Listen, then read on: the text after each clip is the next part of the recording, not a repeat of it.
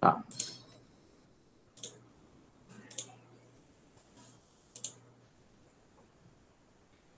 O caso que eu falei foi no Employees. Ele tem o Employee ID e o Job ID. Tá, o Job ID e o... Ah, não, perdão, é no Job History. Ele tem o Employee ID e o Job ID. Eu consigo pegar o Employee ID, só que o Job ID eu não consigo. O job, ID é da, o job ID é da tabela Jobs, viu? Isso. Eu, eu não sei o que.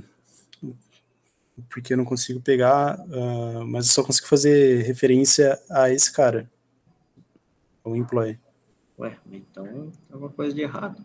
Você pode fazer assim, ó. Deixa eu abrir o exercício que eu vou perder o. Eu vou perder o, o seu, seu compartilhamento, mas espera aí.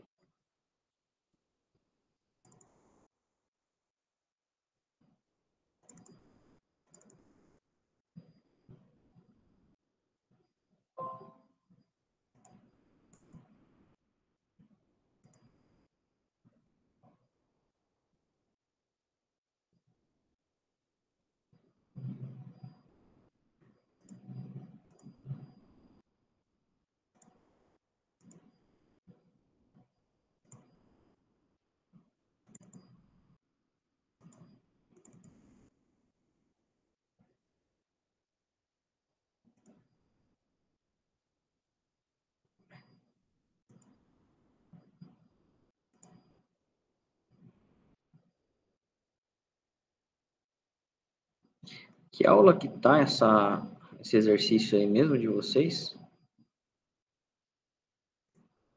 14B, se eu não me engano. 14B? Exercício HR.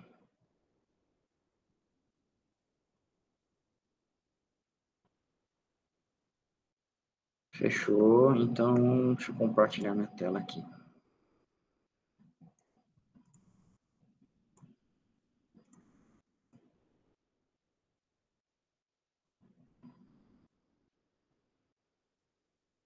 Beleza. Então, é, a Employee ID, você precisa criar a History e a Jobs, né? Em, os relacionamentos entre Job ID e Job History e Employee ID e Job History. É isso, né?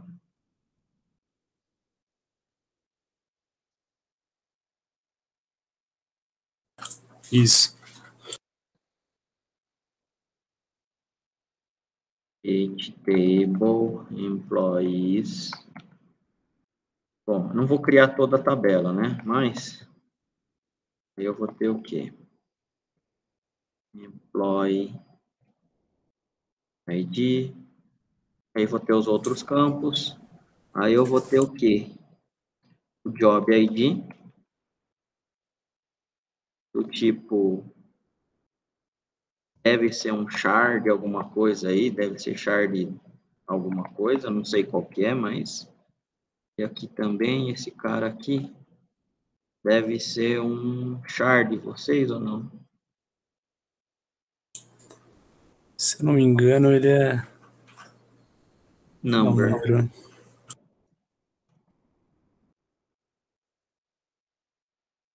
Vírgula.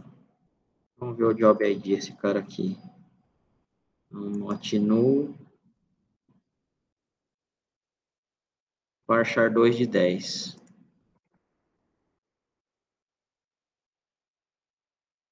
E o outro campo é o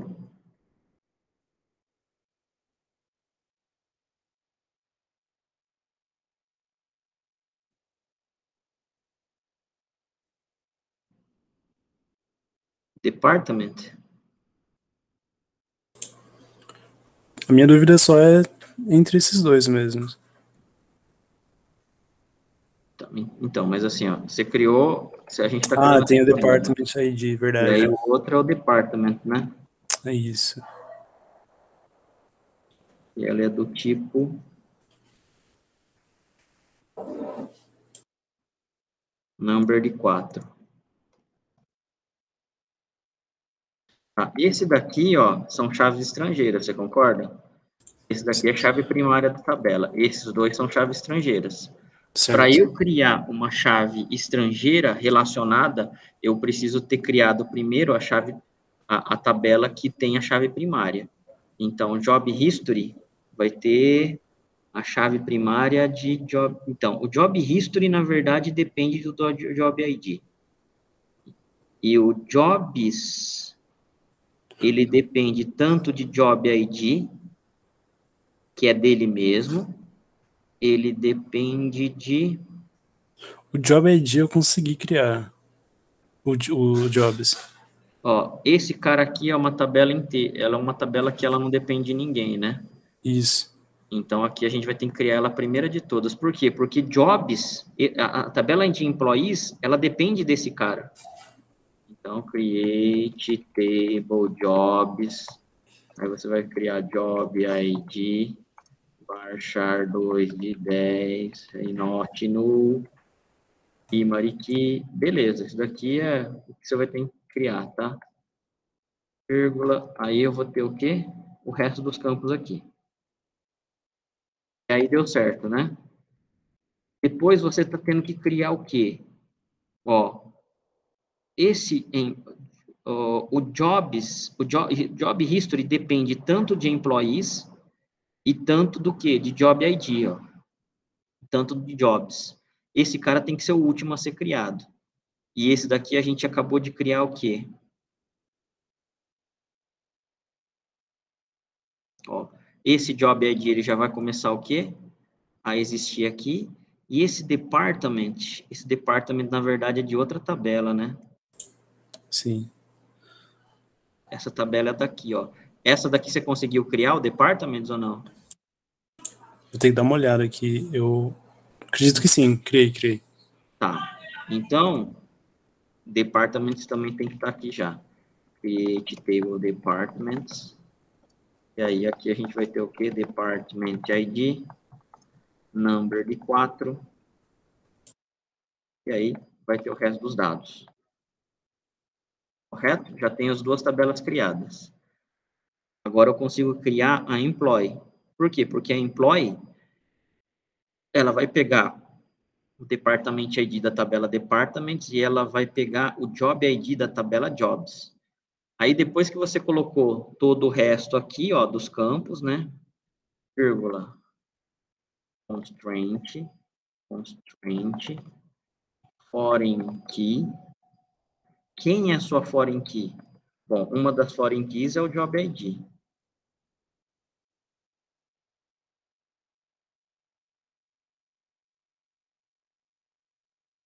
Referências. Quem vai ser a sua referência? Qual é a tabela? Ah, foreign key, constraint foreign key, FK, sei lá. Professor, eu queria perguntar, o que é esse constraint mesmo? Constraint é uma regra de integridade ou alguma regra que, que ele. Ele não, ele não vai, então, ele não vai deixar é, fazer é... com que seja inserido um departamento, é, um, seja inserido um dado inválido na tabela do departamento. Ah, beleza. Tem que ter, tem que ter ele, isso. Tem que ter ele, exatamente. Ah, beleza. Uhum. É que eu tinha pesquisado o que, que era e eu não tinha entendido muito bem. É beleza. Beleza. Então a gente vai fazer primeiro a de jobs, né? Job ID. Vou colocar desse jeito aqui, ó. Imp de employees, o campo job ID, que é o campo mesmo. Foreign key, job ID, referências. Bom, ela tem que refer referenciar qual tabela? Jobs. Certo? Ó, jobs. Qual é o campo? Job ID.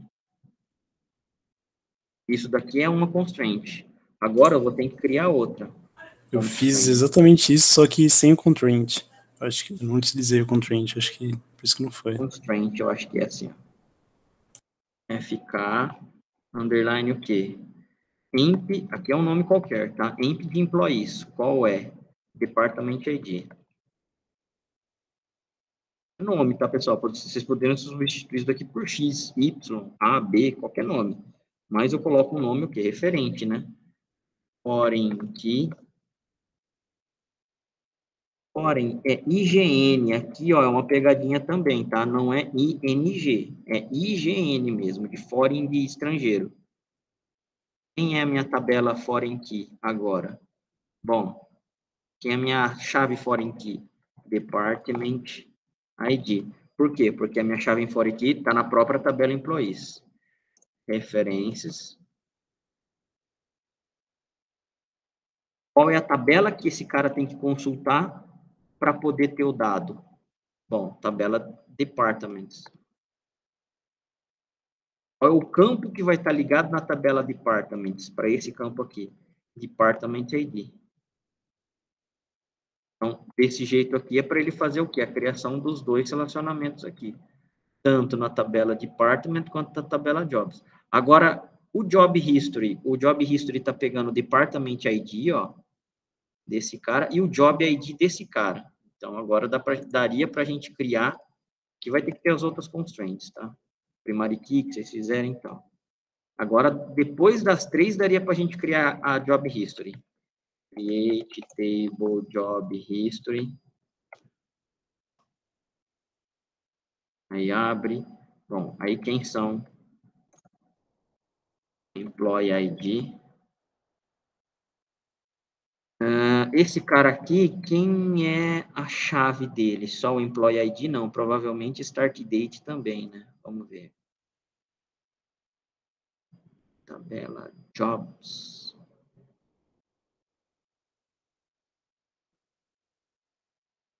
Jobs. Job History. Ixi, todos estão como not null. Eu estou acreditando que seja aqui todos eles, então, a chave primária, tá? Aqui ele não fala se ele é ou não a chave primária, mas tá com cara de ser.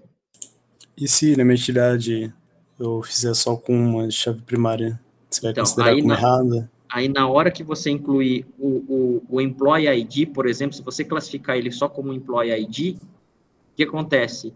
O, você só vai conseguir inserir um único Employee ID nessa tabela. Se ela é um histórico de jobs que o usuário tem, você não consegue inserir mais de um registro por usuário se você deixar só o Employee ID. Entendi. Por quê? Porque aí entra na regra de integridade, né? Number de 0,6. Aí a gente vai ter o Job ID, aí vai ter alguns outros, né? Aí o Job ID, ele é o quê? Parchar 2 e 10.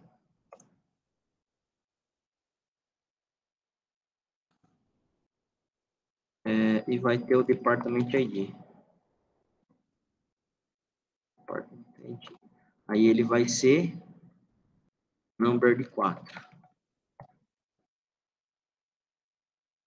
Print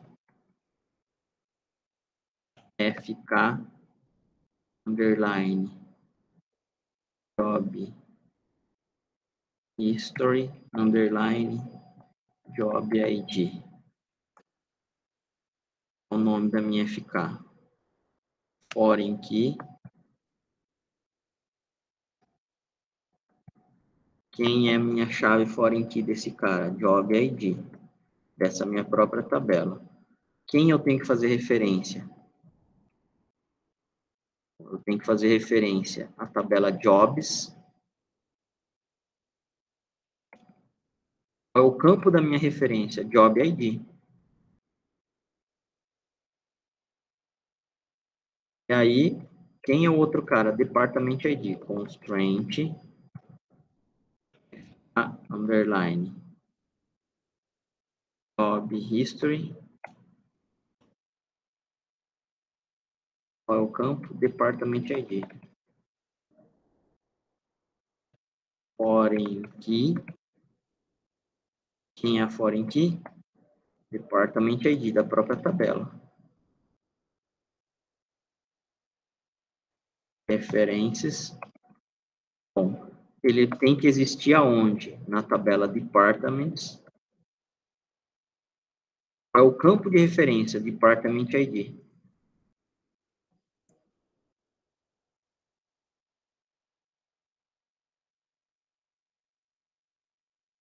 Ficaria desse jeito. Aí, como que eu faço para eu criar a, chave primária desse cara aqui. Vocês não podem colocar ele aqui, ó, na frente. Por quê? Porque a quantidade de campos que eu tenho na minha chave primária aqui é bem grande. Então, eu vou ter que fazer o quê? Constraint. PK underline job history. Primary key. Quem é a primary dessa minha tabela? Bom, employee ID. Só ela? Não. Start date, end date, job ID. Departamento ID não entra, tá? Vírgula aqui para separar. Então, nesse caso aqui, o que a gente está fazendo? Criando todos os campos da minha tabela Job History, certo? Ó, todos os campos. Três pontinhas aqui para representar que tem mais. Depois, estou criando uma constraint chamado PK Job History do tipo Primary Key. Dentro da Primary Key, quais são os campos que envolvem Employee ID, Start Date, End Date e Job ID. Todos esses campos aqui, na hora de eu criar, eles têm que estar como not null. Tá? Por quê? Porque eles não podem ser o quê? Em branco. A chave primária nunca pode ser branco, pode ser nula. Depois, eu estou criando uma constraint chamada FK Job History Job ID. Isso daqui é tudo nome. Poderia colocar qualquer um. Foreign Key é a minha regra. Qual é o campo? Job ID, da própria tabela. Referências. Bom, ele tem que consultar qual tabela? Jobs. Qual é o campo da tabela Jobs? Job ID. Mais uma vez, na mesma tabela, constraint. FK Job History Department ID. Isso daqui é o nome do job. Isso daqui é o nome da, da foreign key. Foreign key, a foreign key é o comando em si. Quem é? Department ID. Referências. Ele vai pegar a referência lá na tabela. Departments de Job ID, de Department ID. Tudo bem, pessoal? Entendi, professor. Obrigado. Fechou. Então, ó, Ctrl C aqui. Vou colocar no chat, tá? Tudo bem, professor? Professor, o, o Job History é o último a ser criado? Espera só um instantinho, pessoal. É o Type C, né? Isso daí?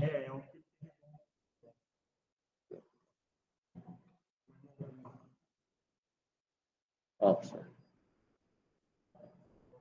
Beleza? Fechou, beleza. Tá bom, tranquilo, obrigado, senhor. Repete, por favor, cara. A Jobs History é a última que tem que ser feita? É, vocês sabem por quê? Aí agora é, a gente tem que, na verdade, obedecer aquelas regras do quê? Das chaves, né? Ó, nesse caso aqui, a Job History, ela tem chave estrangeira de quem? Job ID e de Department para ele tá numa, para ele ser uma chave, estrangeira, ele tem que estar relacionado a uma chave primária. Quem é a chave primária aqui, ó, de job ID? É a tabela jobs. Ó, ele tem a chave primária. Uma chave estrangeira sempre liga numa chave primária, cara. Tá? Se tiver algo diferente, ou é muito especial, ou tá modelando errado. Tá? Mas 99,9% dos casos você vai ligar uma chave estrangeira que não é o que um campo é, primário em uma chave primária de uma outra tabela. E o departamento ID, ó, esse cara aqui é uma chave o que estrangeira. Ele vai se ligar onde? A minha tabela departments, department ID, que é a minha chave primária. É, senhor, outro ponto também que eu tive problema é esse manager ID. Esse Manager ID, ó, vocês estão vendo aqui, ó, que ele liga nele mesmo. O Manager ID, ele é o próprio Employee ID. Correto? O Manager ID, ele é um empregado como se fosse qualquer um. Beleza? Só que como eu faço um relacionamento na própria tabela? Ah, isso daqui é legal. Então vamos lá, vamos voltar para aquele cara lá. Ó. Porque na hora que eu fui criar, ele não tá deixando. Então, eu vou ter aqui o Manager ID, ó. O Manager ID é de qual tipo? Bom, é do, é do, tem que ser do mesmo tipo do Employee ID.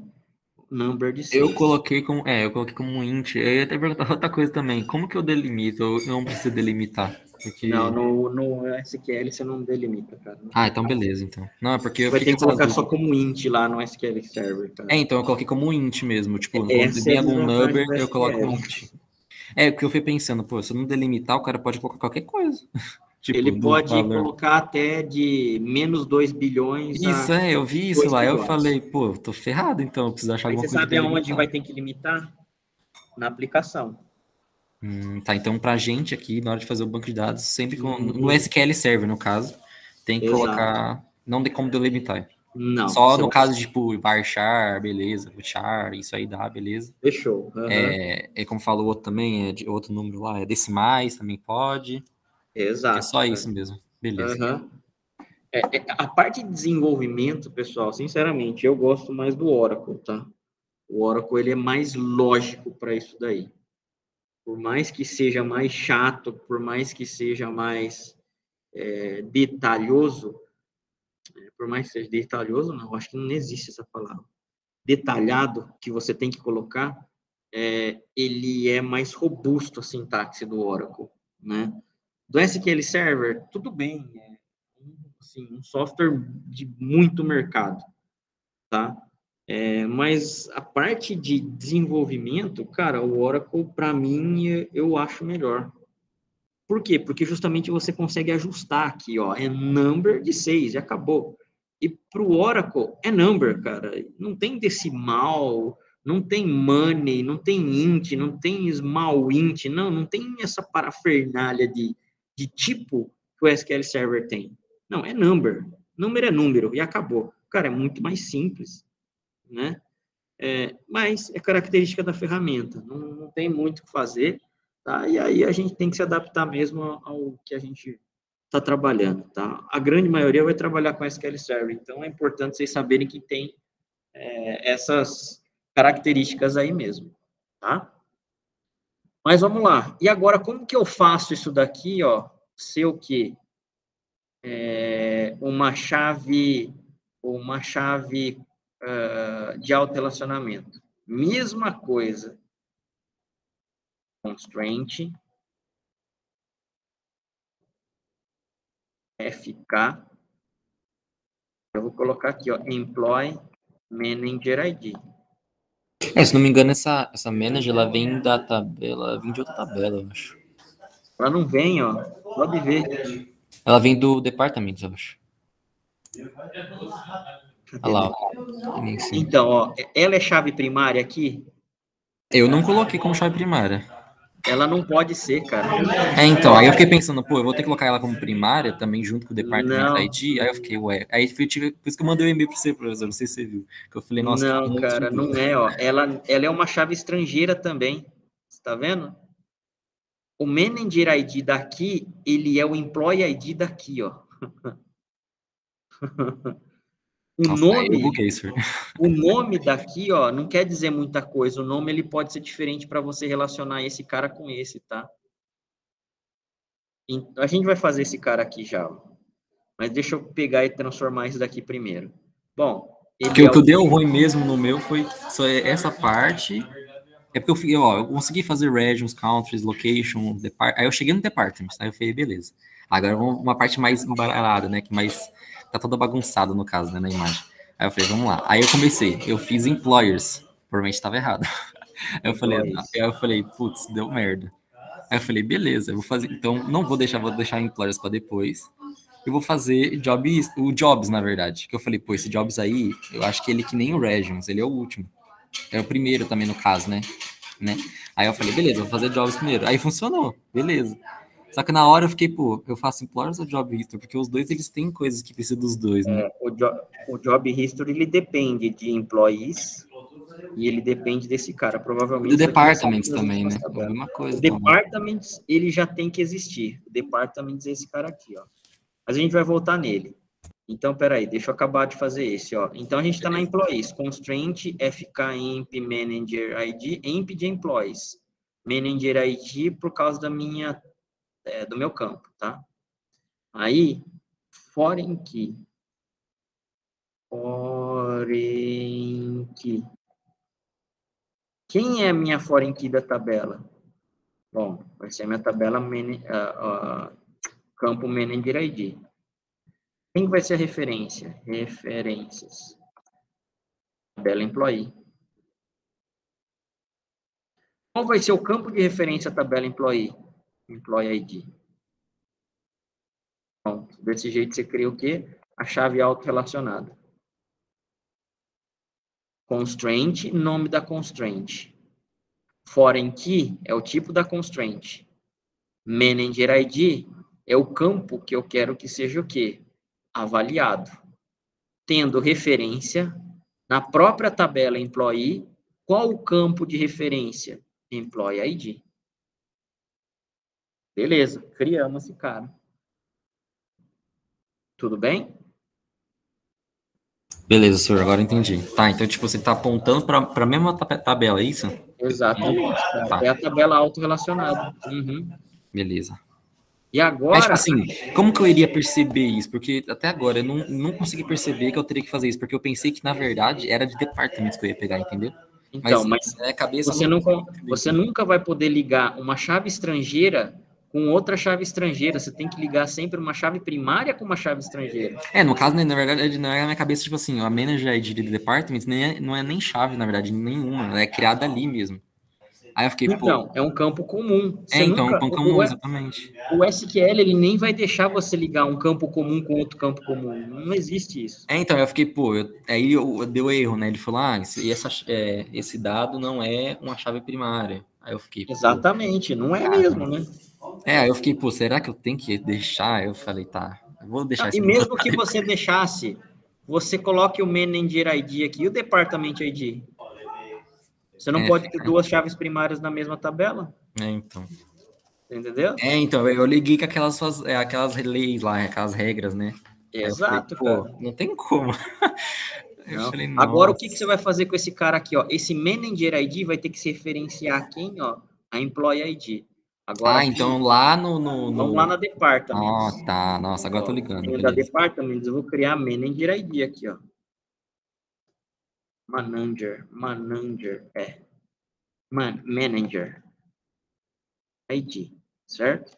A Manager ID vai ser um number de 6. Por quê? Porque ela é do mesmo, tem que ser do mesmo tipo, do mesmo tamanho. Beleza eu vou ter o quê? Ela como referência, né? Só que aí, deixa eu ver. Tá, foreign key. Bom, aí eu vou ter a primary key, que vocês vão ter que criar tal. E aí eu vou ter ela aqui, ó.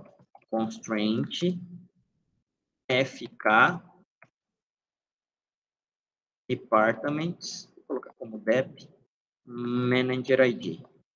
É o nome da minha constraint. Foreign key. Quem é minha foreign key? Manager ID. Referências. Quem é minha tabela de referência? Employees. Com quem eu quero se referenciar na tabela Employees? Employee ID. Pronto. Esse Manager ID, para ele existir, precisa existir o Employee ID. tá? Então, aqui nesse cara, o gerente, ele vai apontar o gerente de um departamento. Só que esse gerente, ele precisa estar cadastrado na tabela de empregados. Por quê? Porque o gerente é um empregado.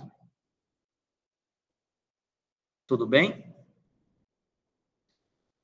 Dessa forma, resolvemos a parte mais complicada dos exercícios. Nossa, meu Deus.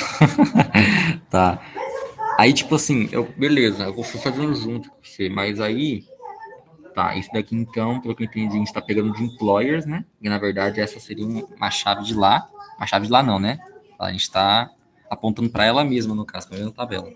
É. A gente está criando a Manager ID. Esse Manager ID está apontando aqui, ó, para esse cara aqui. Beleza. Aí, aí a gente tem que criar uma for key lá para departamentos que seria da employers. Exatamente. Esse cara aqui, ó, é uma foreign key que está apontando para cá, ó. Hum, tá. ID. E esse cara aqui, ó, é o Manager ID, está apontando para cá, ó. Employee ID. Tá, acho que eu entendi. Beleza.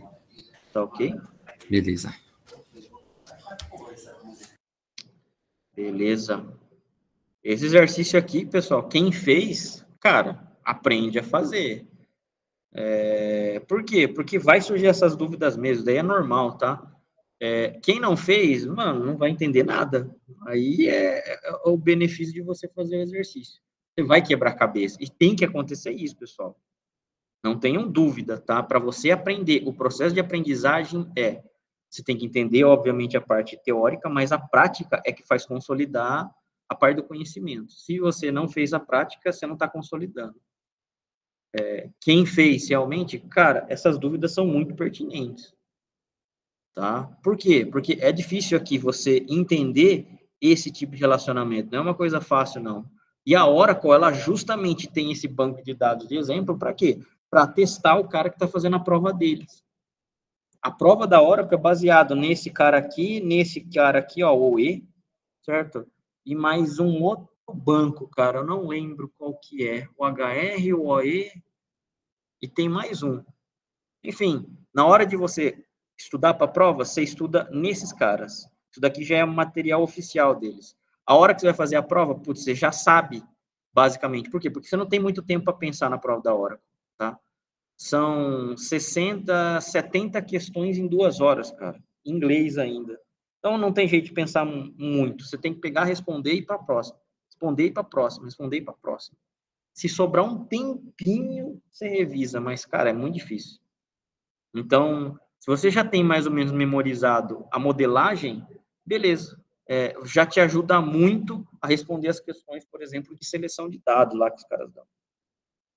Tá? Mas é desse jeito mesmo. São, são coisas que você já precisa ter passado por dificuldade, senão você não consegue entender. Fechou, pessoal? Mais dúvidas? Eu vou colocar esse notepad aqui no editor aqui de vocês. Tá? Então, mais ou menos essa correção aí que a gente fez ser ruim de deixar aqui no chat é que ele tem um limite de caractere. Aí ele corta no meio. Ei, caraca, velho. Sério mesmo? Fazer o seguinte, então. Ter online.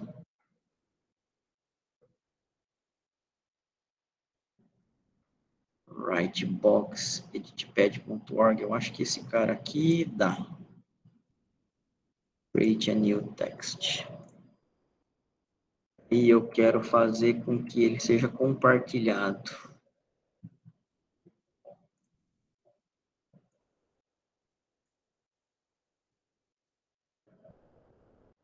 É, caramba, não é? Save. Não cria o um endereço aqui para mim, meu. Word count, caractere, phrase, pop-up. Caramba.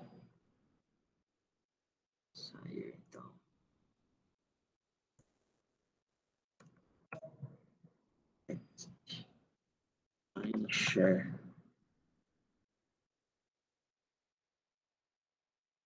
Grammarly, record,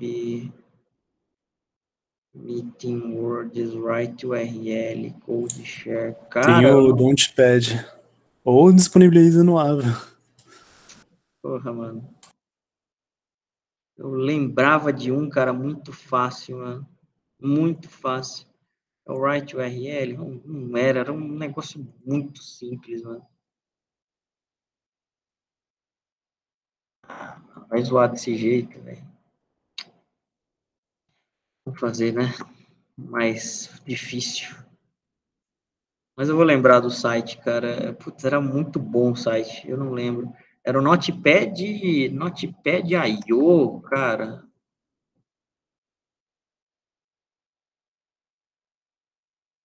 Notepad.io, Notepad.io, eu acho que era isso daqui. E eu não precisava nem fazer login. Vamos ver.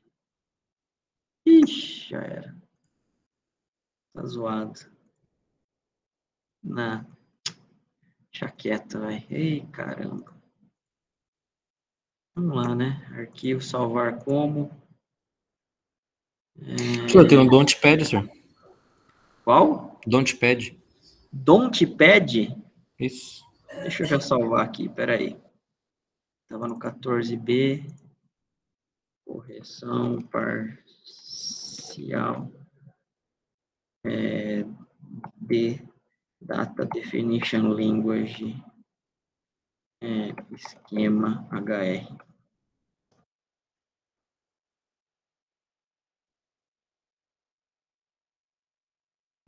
Launchpad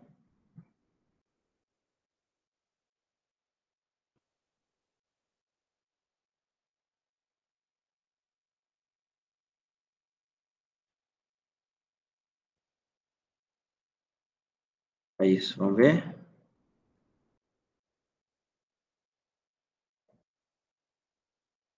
Fechou. Vê se vocês conseguem fazer um favor na sessão.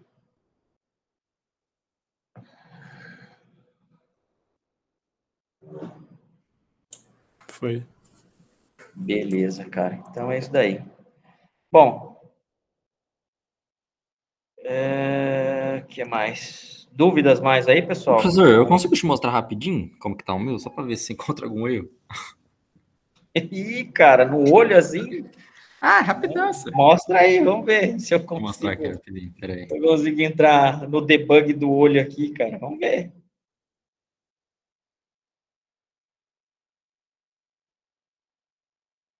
Vou parar a apresentação a minha aqui, tá?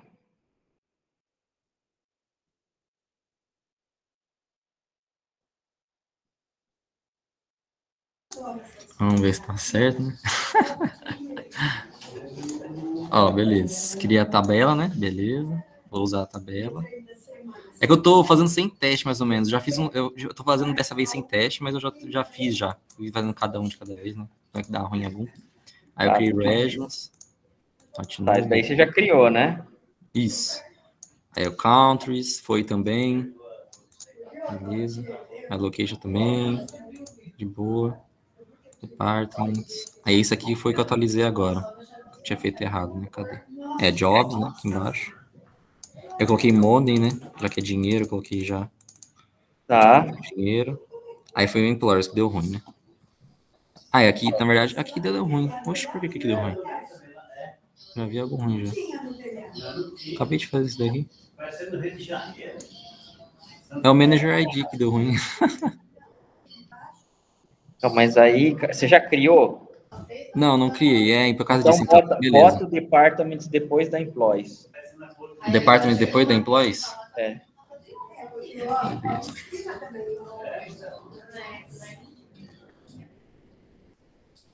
Por que ele tá ficando assim, será, hein, também? Porque tá ligando as duas tabelas? Tá, aí o employee de baixo foi, aí agora... agora deu ruim aqui também. Aí, peraí, então, o que, que a gente tem que fazer? Criar...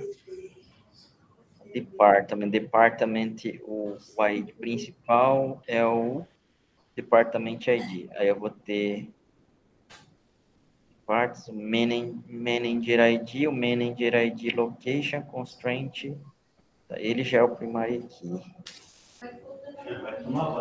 Você vai ter que dar um alter table, cara, numa delas. Não vai ter muito jeito de construir desse jeito, porque uma tá referenciando a outra. É, você vai ter que fazer o seguinte. Pelo menos ele entrou no banheiro e os é, Dá um Ctrl X nessa última linha aí, ó, do Employees. Employees. Dá um Ctrl X aí. Nessas duas? Não, na última só. Porque ah, na última. A, essa penúltima você consegue. Beleza, tira o vírgula daí, porque ele vai ser o último cara a ser colocado. Beleza, depois da departments, depois da criação dela, dá uns enters aí, vou dar um Ctrl V aí, alter table. Aqui na frente, em cima. Uhum. Alter table. Tudo junto? Separado. É, qual é a tabela? Employees.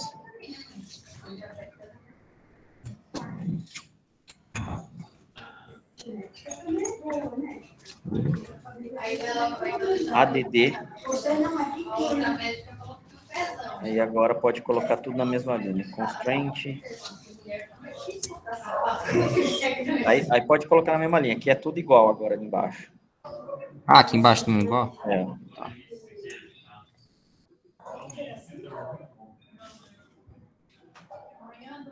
E aí, tira esse vírgula, coloca um, sei lá, ponto e vírgula, te deixa sem. Beleza, vê se a linha de baixo tem alguma coisa que ele tá precisando. Tá, então é isso aí. Como uma tabela referência a outra, uma você tem que criar primeiro, não tem muito jeito. Tá, entendi. Depois a outra você tem que criar. Depois a outra você tem que fazer uma alteração. Beleza. Senhores, essa aqui não é normal mesmo? Tá ligando nos dois aqui, por algum motivo? Se é o quê? Tá ligando nos dois por algum motivo. Não, tem alguma coisa que você não fechou ainda. Ah, aqui. É, então, aqui, tá vendo? Ué. Tá fechado os dois. Estranho. Ah, mas o Go ali tá faltando, hein? Ah, tá. É, Não, não precisaria do Go, mas tudo bem, já que você tá usando, é bom padronizar para todos. Esse aqui também precisa? Vai, pode pôr. É que eu tô fazendo por parte, sabe? Tipo, eu dou um execute aqui, Aham. aí execute aqui. Beleza, ó. Mas aqui já tá ligado, cara. Depois eu tenho que ver isso. Que estranho. Mas acho que é isso, tá vendo? Deu certo pra fazer. Tira o ponto e vírgula desse alter table último da linha ali. Ah, agora foi. O ponto e vírgula tem um cara, agora eu não lembro qual que é a diferença, mas existe entre o ponto e vírgula e o go. O go é um comando que você efetua quando você tem lote, e o ponto e vírgula é quando você executa a linha. Tem essa diferença aí, eu acho que é por isso que ele está reclamando. Ah, beleza. Fechou, cara, eu acho que é isso daí.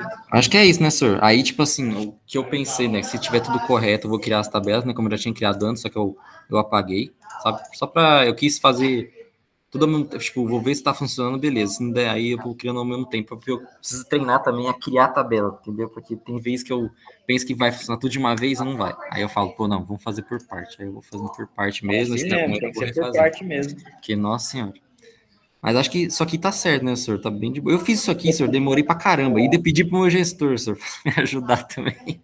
Pois é. Ele era dessa área aqui, ele é dessa área aqui. Eu falei, pô, ele pode me ajudar a me dar umas dicas, né, alguma coisa. Mas isso aqui eu não sabia, não. Isso aqui eu não tive ideia, não. É porque como a gente alterou isso aqui, alterou isso aqui agora, né? Aí deu esse erro, né? Exato. aqui. Uhum. Mas beleza. Aí que vai faltar aqui, acho que provavelmente vai ser inserção, né? Dos dados. E eu vou testar que nem você fazer depois, né? De Isso. fazer um from, é, vamos falar, where, né? Com, nossa, tô, tô bugado, senhor. Tô bugando tudo. Uhum. aqui. Nossa, foi muita coisa. Mas acho que eu entendi sim. Beleza. Fechado, então. Fechou, senhor. Valeu, hein? Nossa, valeu Beleza. demais. Não sei se você viu o e-mail, senhor. Eu sou eu que foi eu que mandei o e-mail pra você, senhor. Sim, da sim, senha do. SQL e tudo.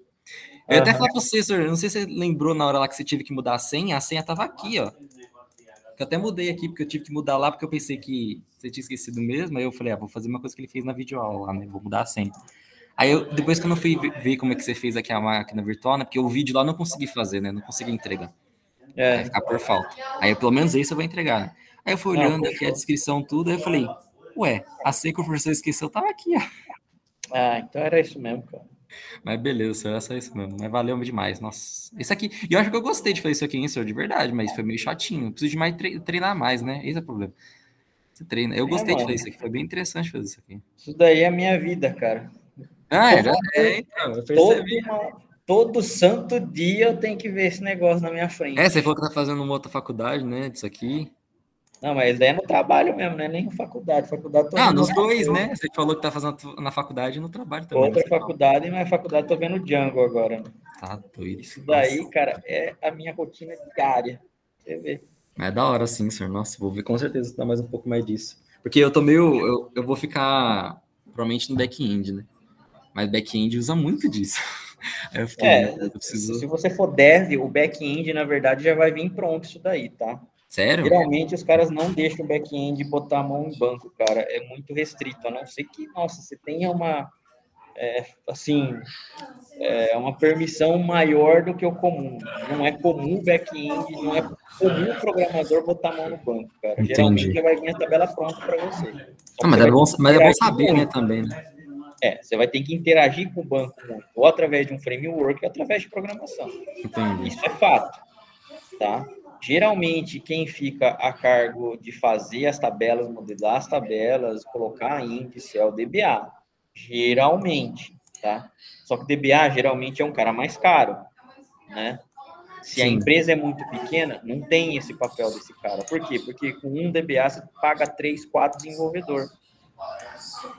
Né? E qual que é o problema? Ah, o problema é na hora que o software cresce, é, na hora que a aplicação começa a ter um monte de conexão, começa a crescer demais, provavelmente o desenvolvedor não tem essa especialidade de fazer a parte de banco com todas as formas normais, com todos os meios corretos. E aí a sua performance vai lá para baixo. Você vai ter que fazer o quê? Refazer novamente seu banco. Tá doido, refazer o banco, cara, é refazer a aplicação. Aí, sentar e chorar. Nossa, eu imagino. Professor, uma dúvida que eu tive aqui agora. Que eu, eu lembro que você conseguia é, desligar e ligar o banco de dados, né? Eu não sei se você tinha falado, porque, nossa, é muita videoaula para ver, eu vou ter que ver tudo depois mesmo. Mas, é, para deixar o offline, para que, que a gente deixaria ele offline? Para mudar alguma coisa da, do banco? Porque tem, não. Quando você tem algumas, mas o deixar offline, aí é que tá, tem dois conceitos. Você pode deixar um banco ou uma base offline, ou você pode desligar a instância do SQL. São dois conceitos diferentes. É, desligar a instância é aquilo lá que você fez, né? Para mudar a senha, né? Eu acho. É então, isso? aí a gente fez a instância. Tá. Quando você tem algumas configurações, não tem jeito. Você vai ter que pegar, desligar o banco e ligar ele novamente. Algumas configurações só funcionam desse jeito. Tá? Tá, Na beleza. grande maioria das vezes, você não precisa reiniciar o banco. Na grande maioria das vezes. Aí existe a base de dados offline. A base de dados offline, é, se você quiser que, sei lá, você está suspeitando de que tenha alguém tentando hackear o seu banco. Antes de que alguém consiga hackear, você vai lá e desliga. Tá? Beleza, é entendi. que pode assumir. Tá? Só que, é que, é que eu, é, então, é que eu não sei é. se você tinha, já tinha falado, entendeu? Aí eu até falo desculpa você perguntar, porque eu não sei nem se você tinha falado já, eu não percebi. Não, não, não, você não tinha falado, não. Porque eu achei porque na hora que eu tava fazendo, eu falei, pô, será que aqui na hora de OKI eu tenho que deixar ele offline para eu fazer as tabelas? Aí eu falei, pô, mas se deixar offline não vai funcionar também, né? Não vai dar input nas tabelas. Não, offline ele não aí, funciona. É, então, aí eu falei, pô, não faz sentido, mas aí eu fiquei me perguntando, para que, que serve deixar ele offline então? Aí eu falei, ah, mas já que você falou esses dados, esses casos aí, eu falei, ah, não entendi por que, né, deixar offline. É, se você quiser, por exemplo, mover um arquivo, um banco de dados de um disco para outro, tem que ser offline também. Supondo hum. que seu hum. drive, sei lá, D dois pontos esteja pequeno e você precisa mover o seu banco para um drive E dois pontos do seu computador, lá do seu servidor, você tem que transformar ele offline e depois fazer a, o, o move dele. Online não dá certo, online não tem jeito, o SQL Server protege. Então, é, algumas operações não tem o que fazer, tem que ser, tem que ser offline, o banco, né? E, e aí é mais administração. Quem vai cuidar do banco de dados é, é essa pessoa que vai tentar, na verdade, é, aprender sobre essa parte, né? Então, é, é manutenção. Aí é um serviço de DBA mesmo, que faz isso daí em banco de dados. Tá? Mas, realmente, parou o banco de dados, já era. Você não insere mais um dado lá dentro. Tem que esperar ele voltar. Beleza. Valeu, senhor. Demais, valeu demais. Nossa senhora. Tirou uma bela de umas dúvidas já. Beleza. Pessoal, mais dúvidas, perguntas? Se não tiver, a gente inicia a aula de hoje. Fechou? Vou compartilhar então a nossa tela, tá?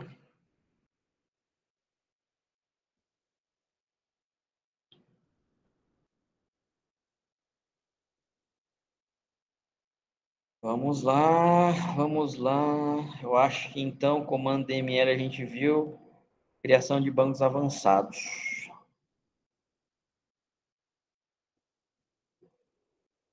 Bom, vamos ver algumas configurações do servidor.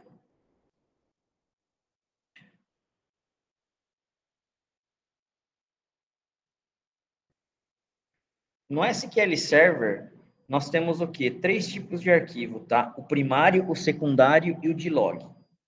Dentro desses três, dois são obrigatórios, pelo menos o primário ou o de log. O arquivo de log de transação que o SQL Server tem, pessoal, ele é um arquivo, na verdade, obrigatório, tá? Ele não é opcional. O arquivo de log, ele faz parte da segurança do SQL Server, faz parte da infraestrutura de como o SQL Server trabalha, tá? Então, é, não tem jeito de você simplesmente ignorar o arquivo de log. Você tem que ter ele para o SQL Server conseguir dar manutenção nos dados do seu banco principal. Bom, o arquivo primário tem a extensão MDF de Master Data File, contém informações de inicialização, tá? E apontamento para os outros arquivos do banco. Pequenos bancos de dados utilizam geralmente um único arquivo, sendo este somente o primário, e o arquivo de transação. Então, o arquivo primário contém o que?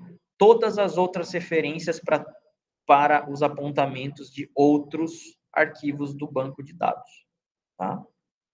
Bom, o arquivo secundário é utilizado como opcional, né, mas recomendado para bancos que contenham quantidade considerável de dados. E aí vai depender um pouco o que você considera considerável, tá? O que você acha que é considerável. No Oracle, um terabyte de dados é tranquilíssimo para ele trabalhar. Para ele está no começo, tá? Para o Oracle, um tera é pequeno. No SQL Server, com 400 gigas, 500 gigas, você já tem que começar a dar uma pensada, dependendo da estrutura que você tiver, tá? E eu já realmente já separaria aí essa quantidade, né, em um arquivo secundário.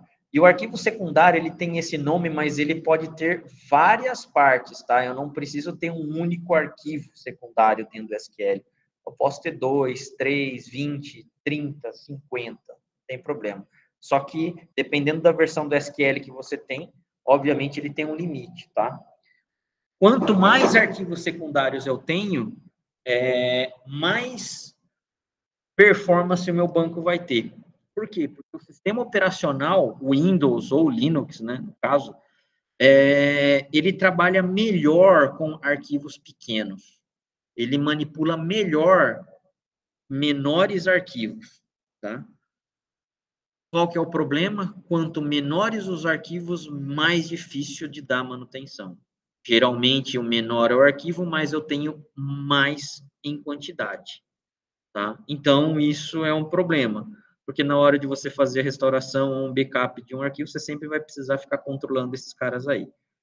E aí vem o dilema. Eu crio poucos arquivos com maior quantidade ou vários arquivos com menor quantidade em tamanho aí é o cara que vai realmente estudar seu ambiente que vai ter que decidir. É o tal do DBA. Utiliza-se a extensão NDF, podendo ter mais de um arquivo secundário para cada banco de dados. Lembrando que a estrutura do SQL Server existe a instância, que seria o SGDB em si, o gerenciador de banco de dados em si. Eu tenho dentro de uma instância várias bases de dados as bases de dados são aquelas bases que são criadas pelo usuário final. O usuário final que eu digo, o DBA, no caso, tá? Para esse, o, o, DBA, ele é o usuário final da ferramenta banco de dados. Tá? É... E dentro de cada banco de dados, dentro de cada database, né, eu posso criar vários arquivos secundários, pelo menos um primário e um de log, opcionalmente um secundário ou mais. Tá? É possível expandir um banco de dados através da criação de novos arquivos secundários. Utilizando a tecnologia RAID 1 mais 0, é possível reduzir a necessidade de utilização de arquivos secundários. Bom, esse RAID aqui a gente não vai comentar, mas ele depende um pouco da aula de redes ou de infraestrutura que vocês tiverem.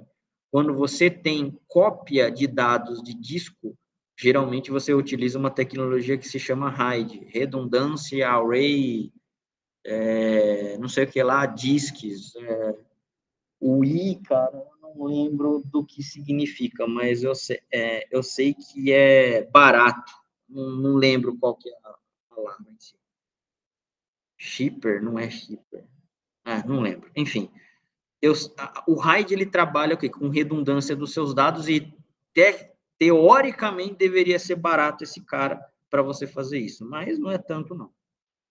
Bom, é possível incluir um arquivo secundário em uma base de dados tendo o seguinte exemplo. Bom, se a gente já tem um banco de dados criado, a gente vai fazer o quê? Dar um alter database nele. Vamos alterar a nossa base com esse comando. Alter database e o nome da sua base. Add file name, file name, size, file go, file grow e é, to file group.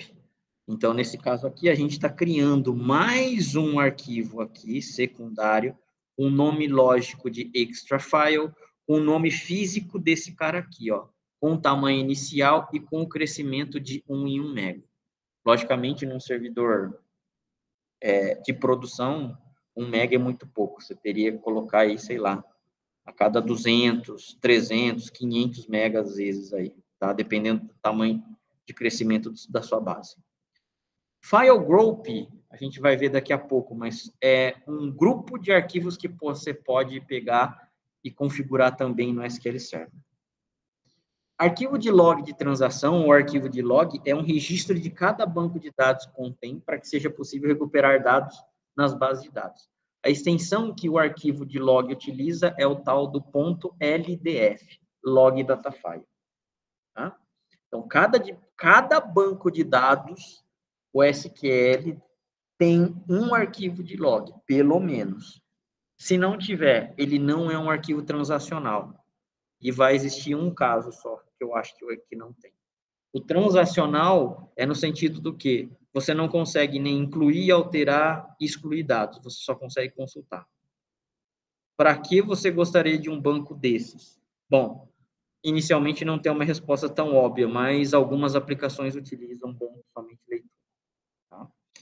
Banco de dados SQL, opa, Banco. Oh, caramba, arquivo de log. Tá. Cada banco de dados SQL tem um grupo de arquivos, um, um, um file group.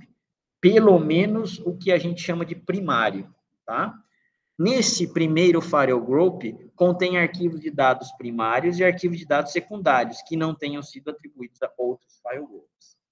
File groups podem ajudar a reduzir o tempo de backup utilizando backups parciais. Possível adicionar um file group com o seguinte comando: alter table, nome do seu banco de dados, add file group. O file group, pessoal, é uma coisa mais lógica do SQL, tá? A gente não enxerga fisicamente a existência dele, mas... tá? Alteração através do ambiente gráfico, eu botaria o quê? Botão direito em cima do meu banco, ó, eu tenho a opção File Group aqui e eu tenho a opção de adicionar ele aqui, ó, dando um add, enquanto os arquivos aqui. E esses caras aqui seriam o meu File Group. Tá? Bom, capacidades aí de, do SQL Server. Cada banco de dados não pode exceder 524 terabytes. Pessoal, é terabytes, tá? Ou seja, o SQL Server suporta pelo menos as versões on-premise, né? É, até 524 teras. 524 teras são 524 HDs de 1 tera. Tá? É bastante dado. É bastante. Um único arquivo pode ter no máximo 16 teras. Então, a cada arquivo que eu tenho, no máximo ele vai comportar 16 teras. São 16 HDs de 1 tera. Tá? Também é coisa pra caramba. Tudo bem, menos que esse, mas é coisa pra caramba. É, assim, ó, se, provavelmente, se você já está mexendo com terabytes de dados, pessoal, é, ó, o SQL eu já vi até, vai, 230 teras, 250 teras, ele aguenta bem, cara. Mais do que isso, eu tô assim, é muito provável que você não vá utilizar mais o SQL, tá? Mais provável que você utilize Oracle, porque a quantidade de dados já começa a ser muito grande. Mas, enfim, a Microsoft diz que suporta. Um único host pode ter no máximo 32.767 bancos de dados em uma única instância. Se você tiver mais do que isso também, cara, eu não sei como que você gerencia tanta coisa. 32 mil bancos de dados numa única, num único servidor, realmente é uma quantidade muito grande. Em uma tabela, pode ser composta de até 16 colunas para a chave primária. Acredito eu que até um número razoável seja de quatro campos até para se formar a sua chave. Se você estiver fazendo mais que isso, é necessário rever, às vezes, a sua modelagem, porque é uma quantidade muito grande de, chave, de, de, de campos para se formar em uma única chave. A performance é muito ruim quando você tem uma quantidade tão grande assim. Bom, 253 chaves estrangeiras por tabela, eu nunca estourei esse número. 32.767 conexões de usuário por banco de dados. Ai, 32 mil conexões, pessoal, é bastante coisa, tá? Mas isso pode acontecer se você tiver trabalhando principalmente com sistemas web. Tá? 32 mil, aí realmente fica pequeno para sistema web. Tá? Ah, mas como que eu faço para aumentar esse número? Aí vocês têm que pegar e comprar outro produto da Microsoft. É, uma outra licença da Microsoft. Bom, níveis de configurações de instância, Database Engine, instância e banco de dados que podem ser configurados intercalavelmente. O, o, Database Engine, pessoal, é o motor do SQL, é o que faz o SQL Server funcionar, tá? Ele, obviamente, não é uma ferramenta simples de a gente trabalhar. É, existem aí cursos dedicados a ele, certificação de, dedicados só a essa parte do que? De como o SQL trabalha. Quando se fala em configurações do SQL Server, referimos a uma instância. Ou seja, dentro de uma instância é como se eu tivesse o quê? Um servidor. É uma estrutura inteira de um servidor, só que em memória, tá? É, então, quando a gente fala em configurações SQL, então estamos referindo à instância. Podemos configurar no nível de instância as seguintes propriedades. Quando eu tenho uma instância, então, pessoal, geralmente eu afeto todos os bancos de dados que estão nessa instância. Tá? Então, é, é necessário, obviamente, que a gente tenha ciência do que vai acontecer. Alterei, por exemplo, o padrão de tipos campos, de not null para nulo. Aliás, de nulo para not nulo, porque o padrão é nulo. O seu campo ele pode ser é, não preenchido, né, na verdade. O padrão é nulo. Então, é, o seu dado ele pode ser não preenchido. Beleza. Quando você coloca na instância configuração not null, é para todo mundo. O padrão torna-se não nulo. Tá? Ah, mas eu não queria para aquele determinado banco. Não, não tem dessa. Se você configurou na instância, está afetando todos os bancos que estão na sua instância. Tá? Então, tem a general, né? Visão geralmente de informações sobre instância, inclui informações sobre o SO, de território root, collation. Memory, configura o máximo e o mínimo de utilização de memória para instância, memória para criação de índice e mínimo de memória para consulta. Tá? Então, tudo isso é na instância do SQL. Processors, entrada e saída ligados a um processador, threads, prioridades do SQL. Security, autenticação do servidor, auditoria de logon, rastreamento, rastreamento para auditoria. Connection, número máximo de conexões, opções padrão de conexões, permissão de conexões remotas, distribuição de, de transação de comunicação de servidores para servidores. Então, isso daqui é tudo configurado em instância. Configurei uma vez para instância, é replicado para todos os bancos de dados. A instância, ela tem prioridade na configuração do que um banco de dados. Tá? Então, tem que tomar bastante cuidado. Por isso que quando um DBA atua dentro de um SQL, ele precisa saber tudo isso. Tá?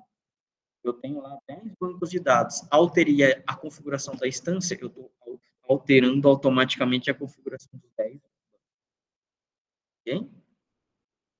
Database Settings, configuração padrão do Fill Factor, mídia padrão de backup, filtros de recuperação, localização padrão dos bancos de dados, Advanced, Advanced, opção do file stream, tamanho do pacote de rede, timeout do login remoto. Bom, aqui no caso, a configuração padrão do fill factor, a gente, eu acredito que a gente não vai chegar, né? Mas no SQL Server existe uma tal de árvore B-tree. A tal de árvore B-tree é a que faz com que a gente consiga localizar os registros rapidamente dentro de uma base de dados. Muito provável que todos os bancos de dados utilizem a B-tree para fazer isso para vocês. Tá? É muito provável. Então, dentro de uma folha de uma árvore, eu consigo deixar uma porcentagem de não preenchimento. Ou preenchimento, 80% preenchido, 90% preenchido. Por quê? Quando eu encho o meu dado, né, é, da minha folha, vamos dizer assim, dessa árvore balanceada, é, o SQL ele precisa reestruturar todos os dados naquele momento. Dependendo quando for, como for, se ele tiver em alto processamento, ele tem que parar esse alto processamento para poder rebalancear a sua árvore. Isso é um custo muito grande de processamento para SQL, tá? Então o que a gente faz? A gente deixa alguns pequenos pedaços das, das folhas, né, que a gente chama, é, a serem preenchidas. Se o SQL precisar, ele utiliza essas folhas não impactando na hora que o SQL está mais ocupado.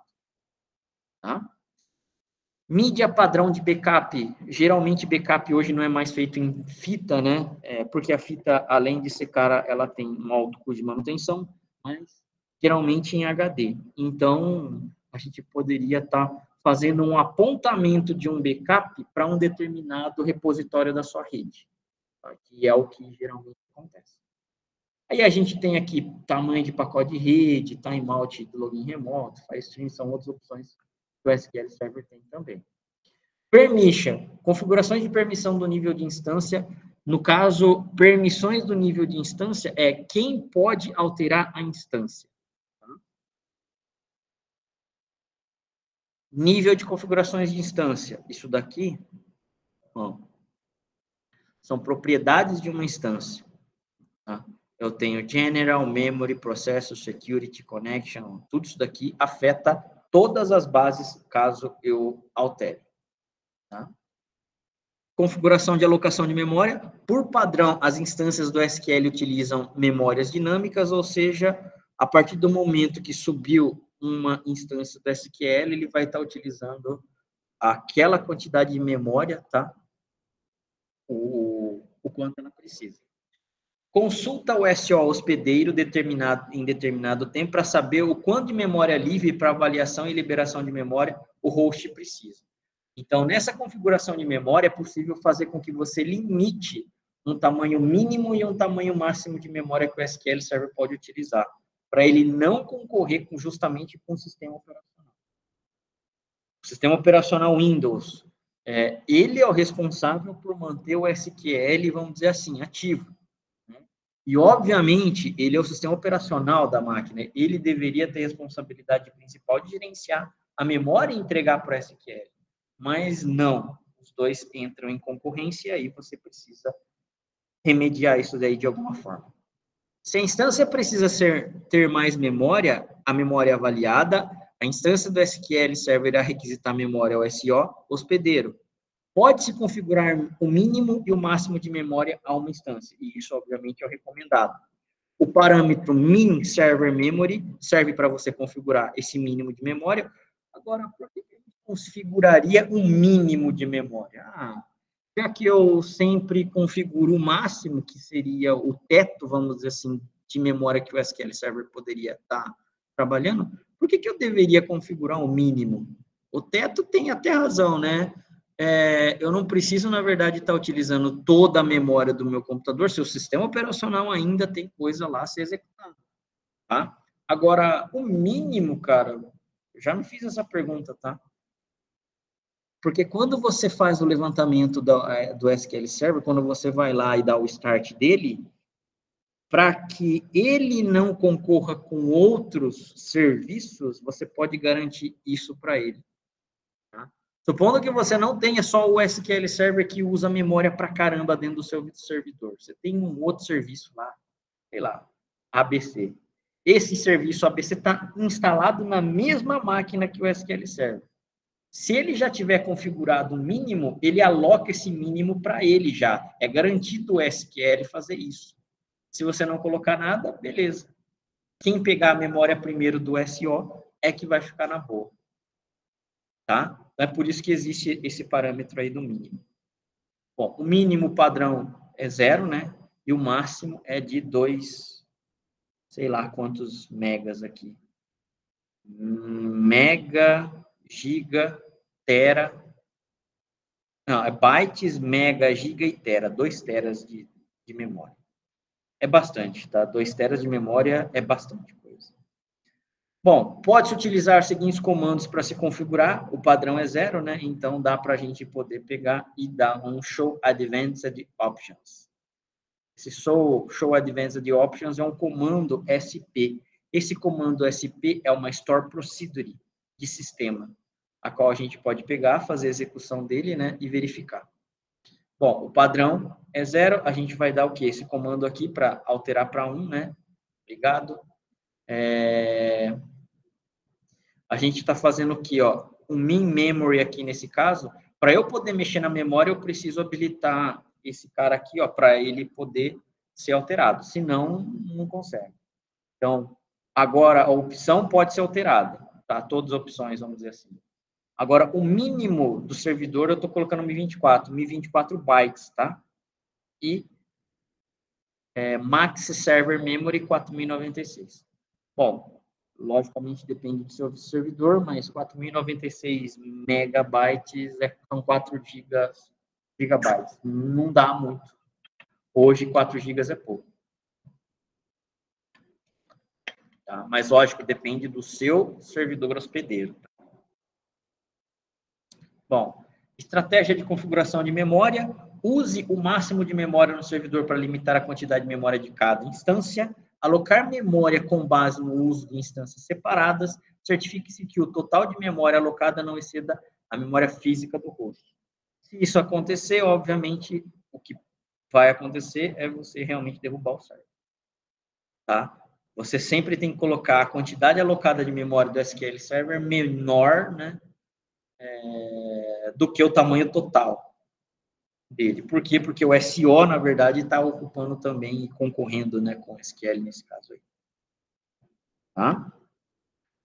Ainda em estratégia de configuração, usa a memória mínima do servidor para estabelecer as configurações mínimas de memória para cada instância. Certifique-se que a soma total em giga em memória mínima é de 1 ou 2 gigas menor do que a memória física do host.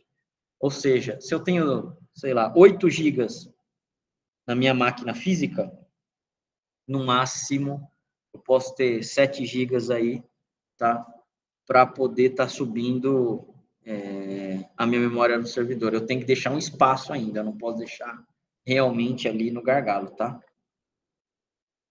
Cada utilização de memória não seja configurado, o SO aloca a memória baseada na primeira solicitação, o SQL Server não tenta balancear a utilização de memória entre instâncias. Ah, tá. O instâncias, né, como a gente comentou, é como se fosse uma instalação do SQL Server em memória, correto? Isso seria o conceito da instância que a gente tem. É o motor realmente que a gente tem, tá? Só que, obviamente, ele tem o quê? É, a, a, configuração em si, né? É, a, a memória, ela o SO ele precisa desse espaço para ele poder fazer a alocação, né? É, entre é, o S, entre o SQL Server e entre o seu hardware. Então, o SO ele cuida disso.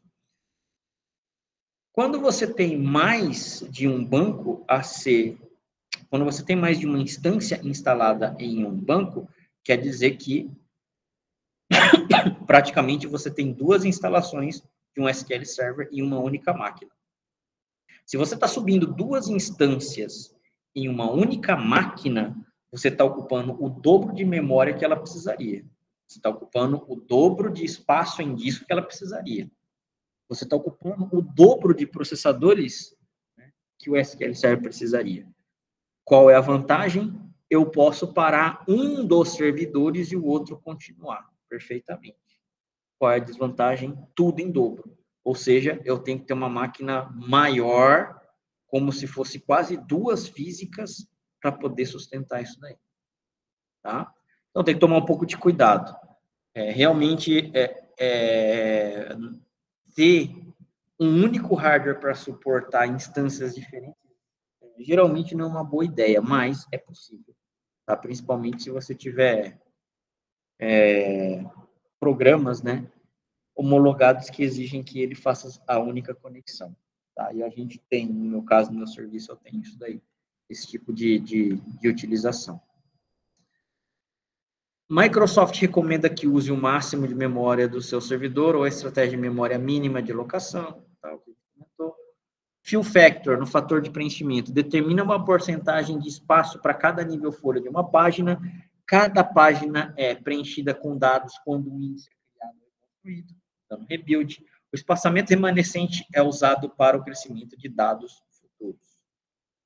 Tá? Então, isso daqui é o que a gente comentou do fill factor, que ele afeta os níveis, os níveis folha, tá? É, na árvore B-tree. Isso daí é uma coisa bem interna do SQL, tá, pessoal? A gente não consegue ver isso daí. É uma coisa que o SQL, com, uh, o SQL controla, né, debaixo da, desse framework dele aí, tá? Configuração de alocação de memória. Fator de preenchimento pode ser configurado de 1 a 100%, é o mesmo que zero o padrão é zero, pode ser configurado individualmente no nível é, de, de, índice, né, ou no nível de servidor. Se você configurar ele, aliás, se você deixar do jeito que a instalação vem, né, do SQL Server, ele é zero, ou seja, todo o preenchimento da sua árvore ele vai utilizar para poder fazer o rebalanceamento. Agora, se você coloca 90%, 80%, legal ah, vai ser atingido esse tamanho máximo, vamos dizer assim, ele vai fazer com que seja utilizada essa reserva de 15, 20% que você configurou, certo? Ele não faz o rebalanceamento da árvore na hora, ele espera por uma oportunidade quando é, o seu banco de dados estiver menos, sendo menos utilizado, tá? Então, ele faz daí. É, e aí, obviamente, né, não, tenho menos perda de performance. Tá? Bom, ainda na parte de memória, pode ser configurado nas definições do servidor, nas propriedades do servidor, somente, para a instância configurada. Como a gente faz a alteração de um fill factor? É esse cara aqui, ó, SP, configure show advanced options 1.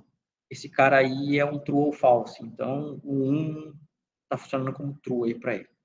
Ele vai dar como reconfigure, SP configure fill factor 90, ele vai dar o reconfigure e beleza. Já vai estar tá funcionando isso daí para eles. Tá ok? Ou, né, se você quiser vir aqui e alterar ó, o default índice fill factor. Nesse caso meu aqui, eu tinha configurado 95% do servidor que eu estava trabalhando. Tudo bem? Isso daqui, pessoal, é bem técnico na parte do que? De você controlar o banco de dados, tá? Quem é desenvolvedor, obviamente, não vai ver nada disso daí. Só realmente quem quiser trabalhar com banco diretamente começa a estudar um pouco mais isso. Tá? Perguntas? Dúvidas?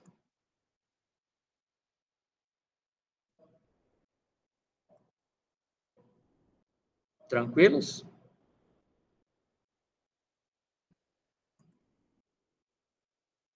Beleza. Vamos continuar então.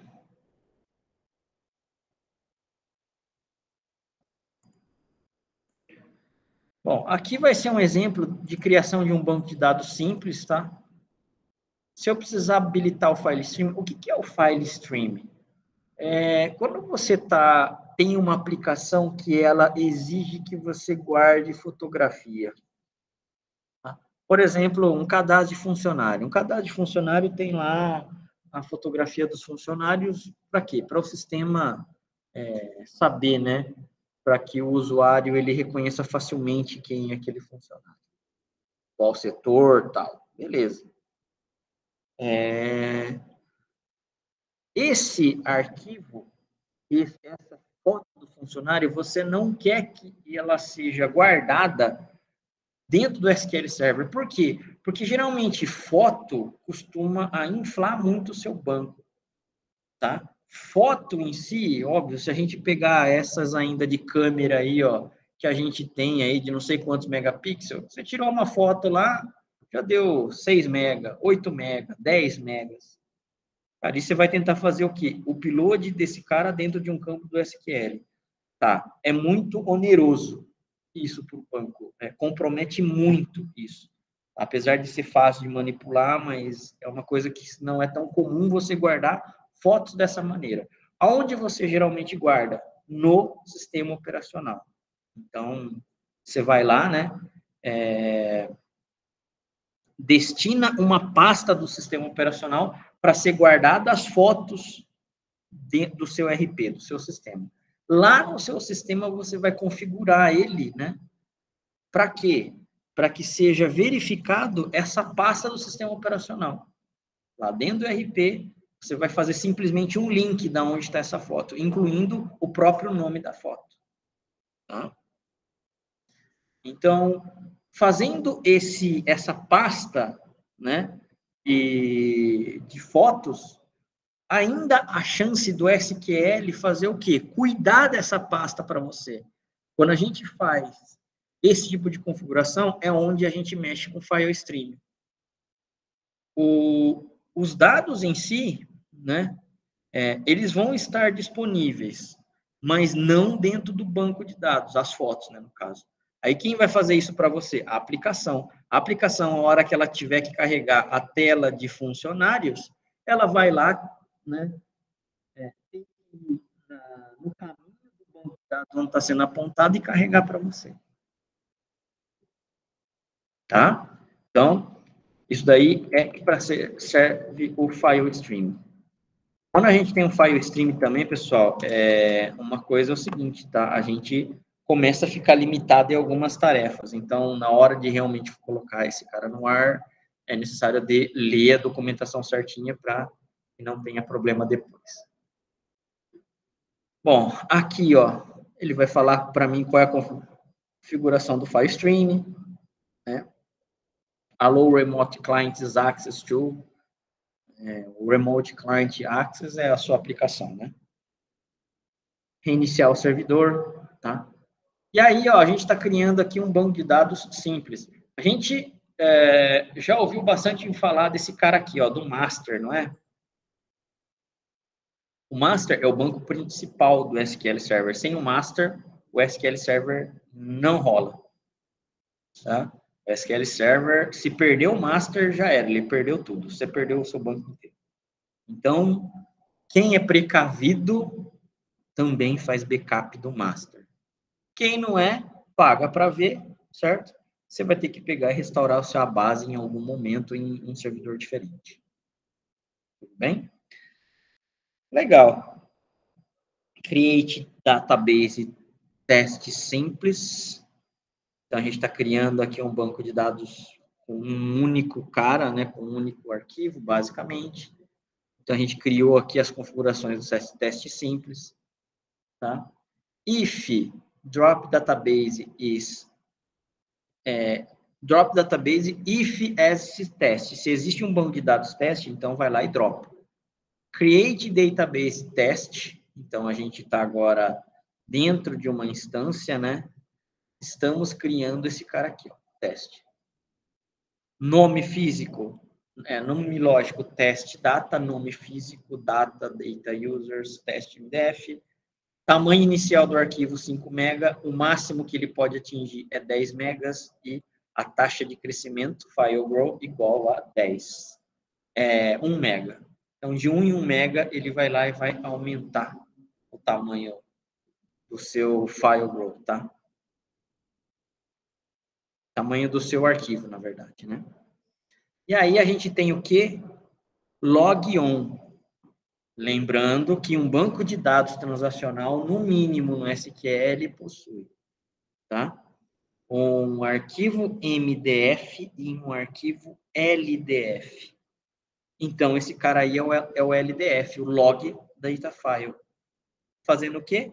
Log on, e aí aqui são todas as mesmas configurações que eu poderia estar tá tendo no meu, na minha outra é, base. Tá? Mesma coisa, não muda nada. A única coisa aqui que a gente está colocando, ó, onde o max size é igual a unlimited.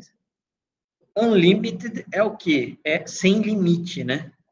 Ah, então sem limite é bom. Não, não é bom. Sem limite, pessoal, ele vai ocupar o tamanho do seu disco inteiro, ou seja, não vai acabar os dados, ele vai continuar utilizando esse cara aí. Tá? E aí, qual é o problema de quando ele chega no máximo dos seus dados? Trava a máquina. Por quê? Porque o sistema operacional não tem como mais controlar nada sem espaço em disco. Então, você está fadado a perder o que você tem. Tudo bem? Mas, mais uma vez, essa é uma configuração que o DBA da sua empresa vai fazer. Se vocês não cuidam disso, não tem problema nenhum. Tá? E provavelmente, se a maioria vá para a área de dev, vocês nem sabem o que é isso daqui. Beleza. Alterar um banco de dados, né? O nome do banco. Aliás, alterar o tamanho do banco alter table, alter database test, modify file name igual a, tarará, nesse caso aqui, o teste data, max size igual a 20. Ah, eu tenho lá alocado 200 gigas, mas eu tenho previsto que vai subir, sei lá, para 300 o mês que vem. O que, que você vai fazer? O max file você vai utilizar os 300. Tudo bem? Então, dessa forma, vocês começam a garantir um pouco mais de segurança nos seus dados. Ah, mas o legal é fazer com que ele realmente fique o quê? Imagina, pessoal. Tchau, tchau. O legal é que realmente ele fique o quê? Para eu não me preocupar, né? Deixe ele grande mesmo, tal, e deixa unlimited. Tá. Vamos supor que o seu servidor web, ele não esteja lá bem configurado, certo? É, a ponto de te dar toda a segurança. Então, tem uma falha lá no seu site, o cara ele consegue fazer um SQL injection, certo? Uma injeção de SQL dentro da sua aplicação. Por quê? Porque não está protegido, né? Isso pode acontecer é, em quando você utiliza frameworks já preparados, né? É, para web, beleza, é, a, o framework te protege bastante.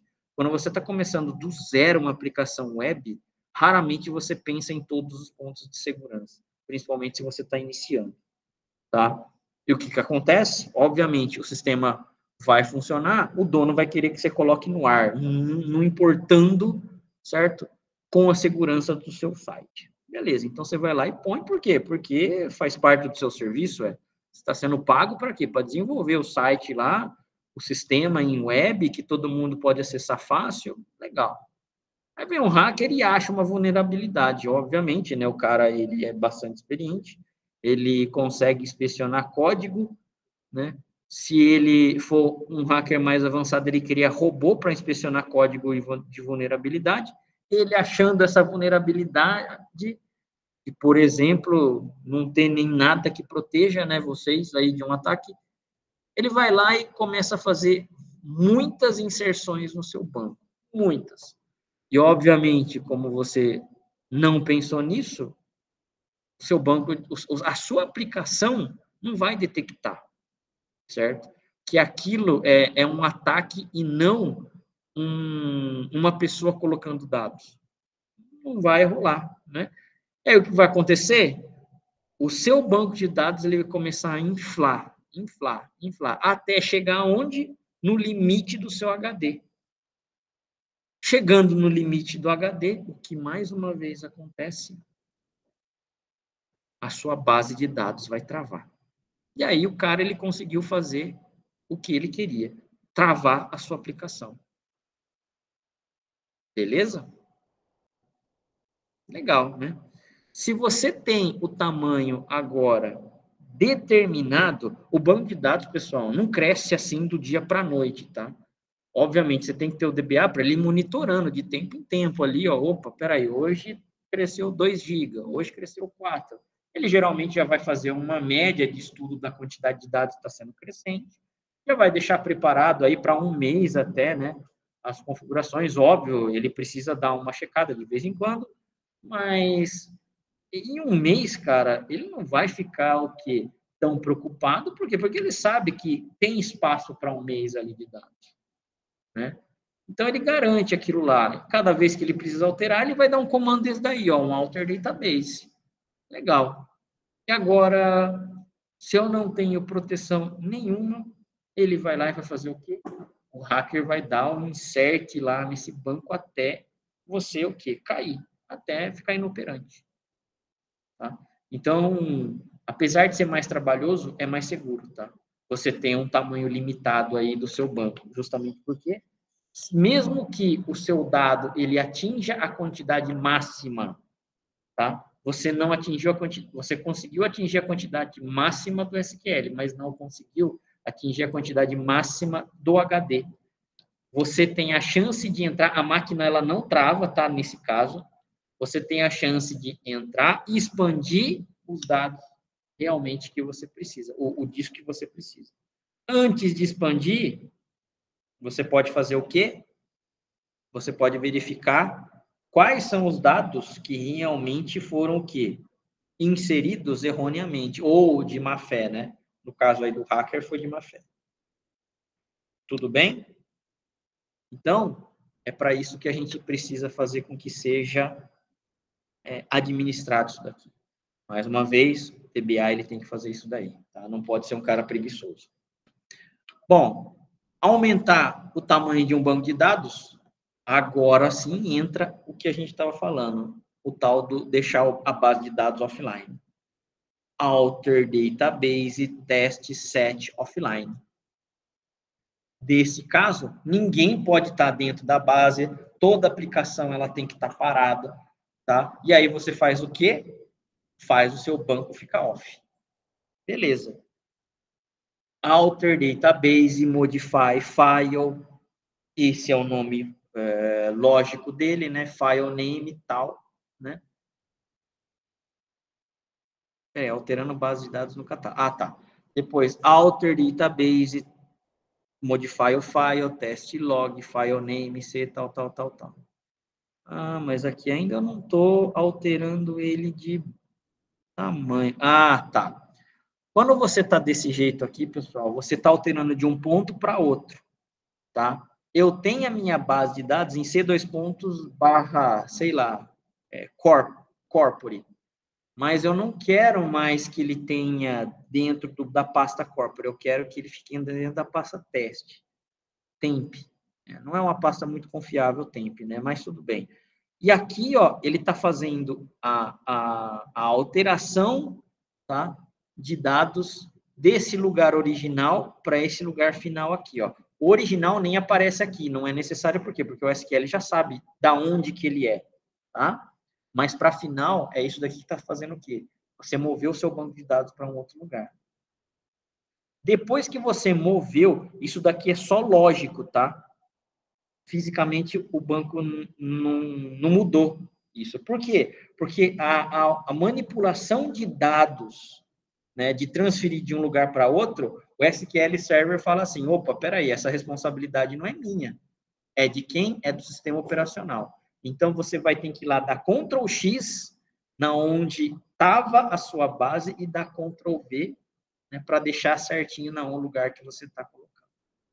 Alter Database Test, set online, para quê? Para voltar o seu banco de novo online e todos se conectarem. Beleza, pessoal? Fechou. Perguntas? Alguém já trabalha com banco de dados mesmo assim? Só o banco ou não? A maioria, se está trabalhando com dev, desenvolvimento.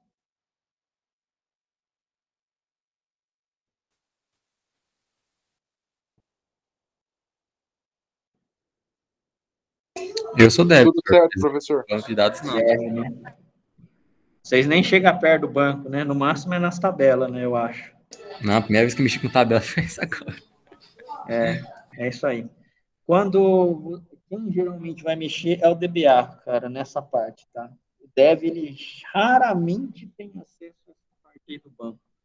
Ele vai ter acesso ao desenvolvimento das tabelas, que é o que vocês estão fazendo agora. Create, table, aí o nome das tabelas, lá, lá, lá, lá, lá, lá. Né?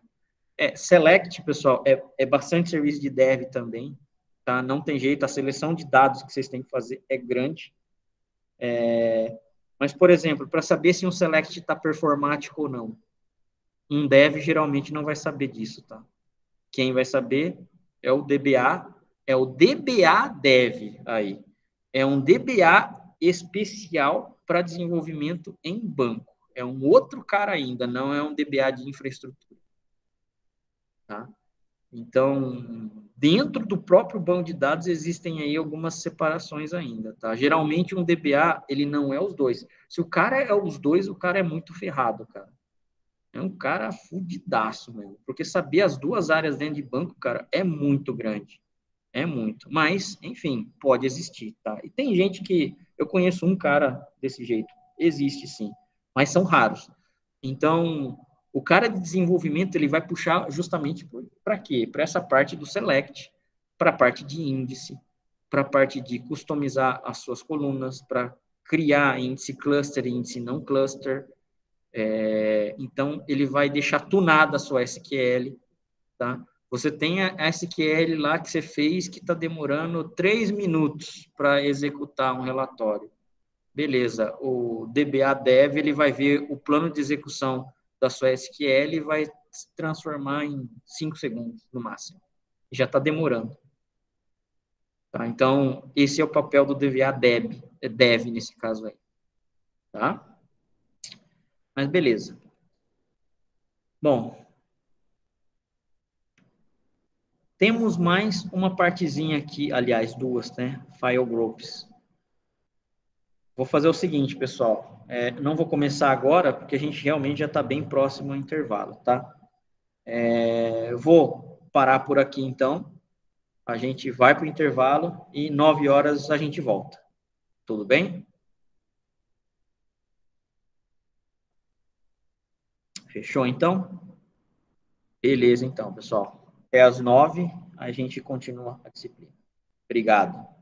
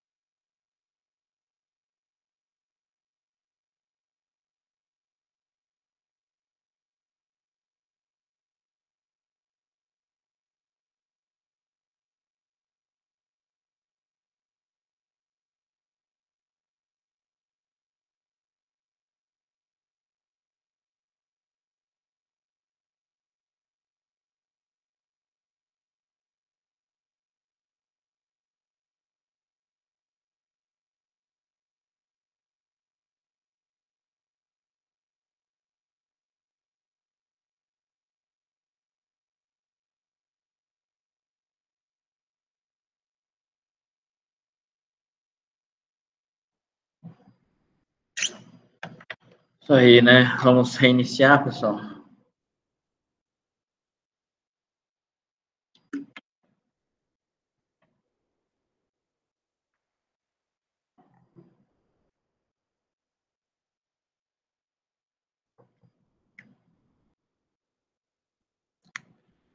Vamos lá, compartilhando novamente a tela.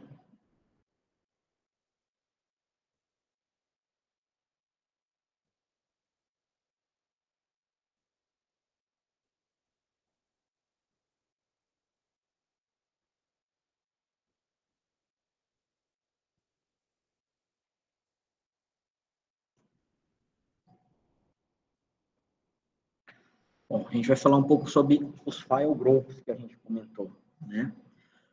Em um banco de dados, uh, os dados são armazenados em disco ou em mais de um arquivo de dados, né? Então, é, eu tenho a criação do meu arquivo MDF e LDF, eles fisicamente vão ter que estar alocados em disco.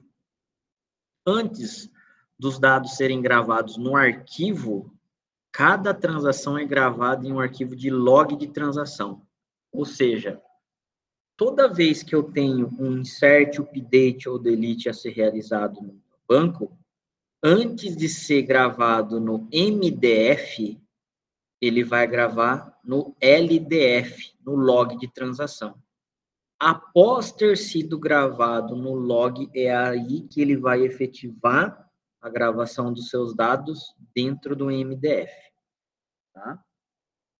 Se todos os dados trabalhassem apenas em memória, o acesso à manipulação dos mesmos seria extremamente rápido. O SQL Server utiliza dois tipos de arquivos, os de dados, os de dados e os de log de transação, que é o que a gente já tinha comentado. Os arquivos de dados são utilizados para armazenar dados e os arquivos de log são responsáveis por armazenar todas as transações executadas em um banco de dados.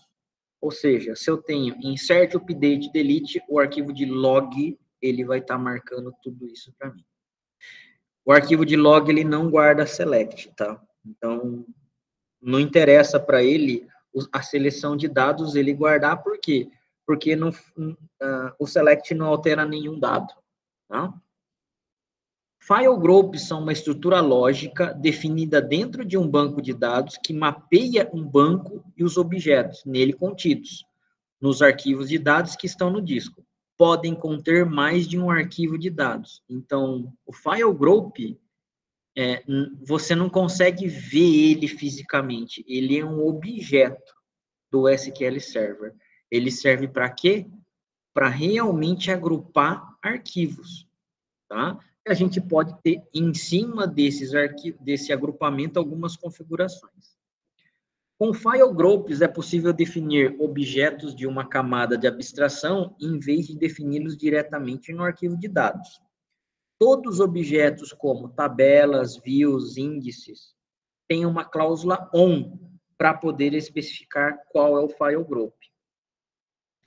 Quando um arquivo é adicionado a um banco de dados, permite definir o tamanho inicial, tamanho máximo, crescimento automático, porcentagem ou tamanho.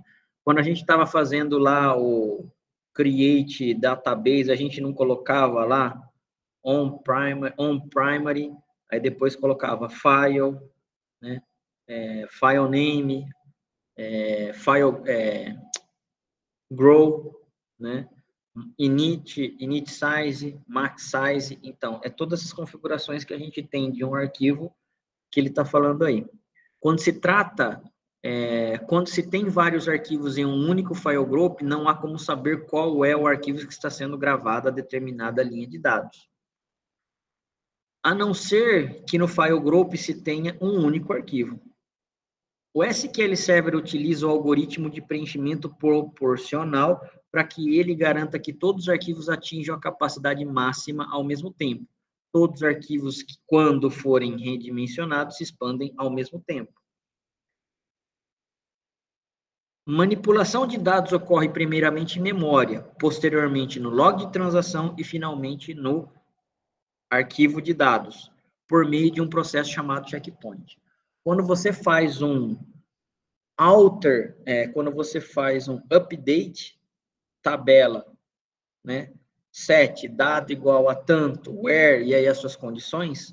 Primeiro, o SQL aplica esse comando em memória, do comando em memória se aplica no log de transação e do log de transação vai para o seu arquivo MDF ou NDF, M ou N, tá? De Master Data File ou Secondary Master Data File. É, o que, que acontece, então? Eu tenho esses três caminhos a serem percorridos para se ter alteração do meu dado dentro do SQL Server. Se um deles falhar, a ação é desfeita ao ponto original, que estava antes. Quando uma linha a ser excluída não existe ainda em memória, o SQL Server precisa carregar em buffer de memória, precisando fazer uma leitura em disco. Ou seja, se eu não tenho aquele dado em memória, o SQL percorre aonde? Em disco e carrega em memória. O melhor caso seria que sempre todos os dados estivessem totalmente em memória do servidor. Só que isso não acontece porque porque a quantidade de base, né, física geralmente é maior do que a quantidade de memória RAM do servidor. Uma memória RAM de servidor é muito mais cara do que disco físico. Como o acesso a disco é muito lento, o projeto de separação em arquivos de dados pode, ser um, pode ter um bom impacto de desempenho. O projeto de camadas deve ter três arquivos de dois grupos de arquivos, tendo o seguinte formato. Bom, no caso, três arquivos e dois grupos de arquivos, ou file groups um arquivo MDF dentro do arquivo chamado, dentro do file group chamado primary. Um arquivo NDF, que é o arquivo secundário, dentro do grupo chamado qualquer nome aí. Você pode dar um nome do seu file group. E um arquivo LD, LDF para se ter o log de transação. Então, eu separei, separaria três arquivos MDF, LDF e o NDF em três file groups diferentes. Tá? Isso seria uma das primeiras estratégias. Além de definir logicamente os limites de armazenamento de um objeto, os file groups têm a propriedade default. Após a criação, é recomendado que seja alterado o default para o segundo file group. Assim, garante-se que qualquer objeto que sejam criados novos, né, serão no novo file group, deixando apenas objetos de sistemas no file group primary. Para se alterar um default de file group, alter database, em nome do banco, modify o file group, nome do seu file group, default. Toda vez que você for criar, a partir desse momento, um create table, ou um create sequence, ou um create procedure, esses objetos vão ser apontados para o seu novo file group e não no primary. O primary, ele só vai ter objetos de sistema. Isso, logicamente, é melhor você consegue dar mais manutenção para o seu banco. Na prática, para quem é dev, não muda nada. Para quem é DBA, muda muita coisa. Bom, o principal objetivo é proporcionar o máximo de isolamento de I/O, input output. Objetos de sistemas não mudam tão frequentemente quanto dados. Objetos de sistema, no caso, tabela, tá? Obviamente, as tabelas elas não têm uma mudança tão rápida quanto as dos dados. Depois que você definiu quais são os tipos de dados, né?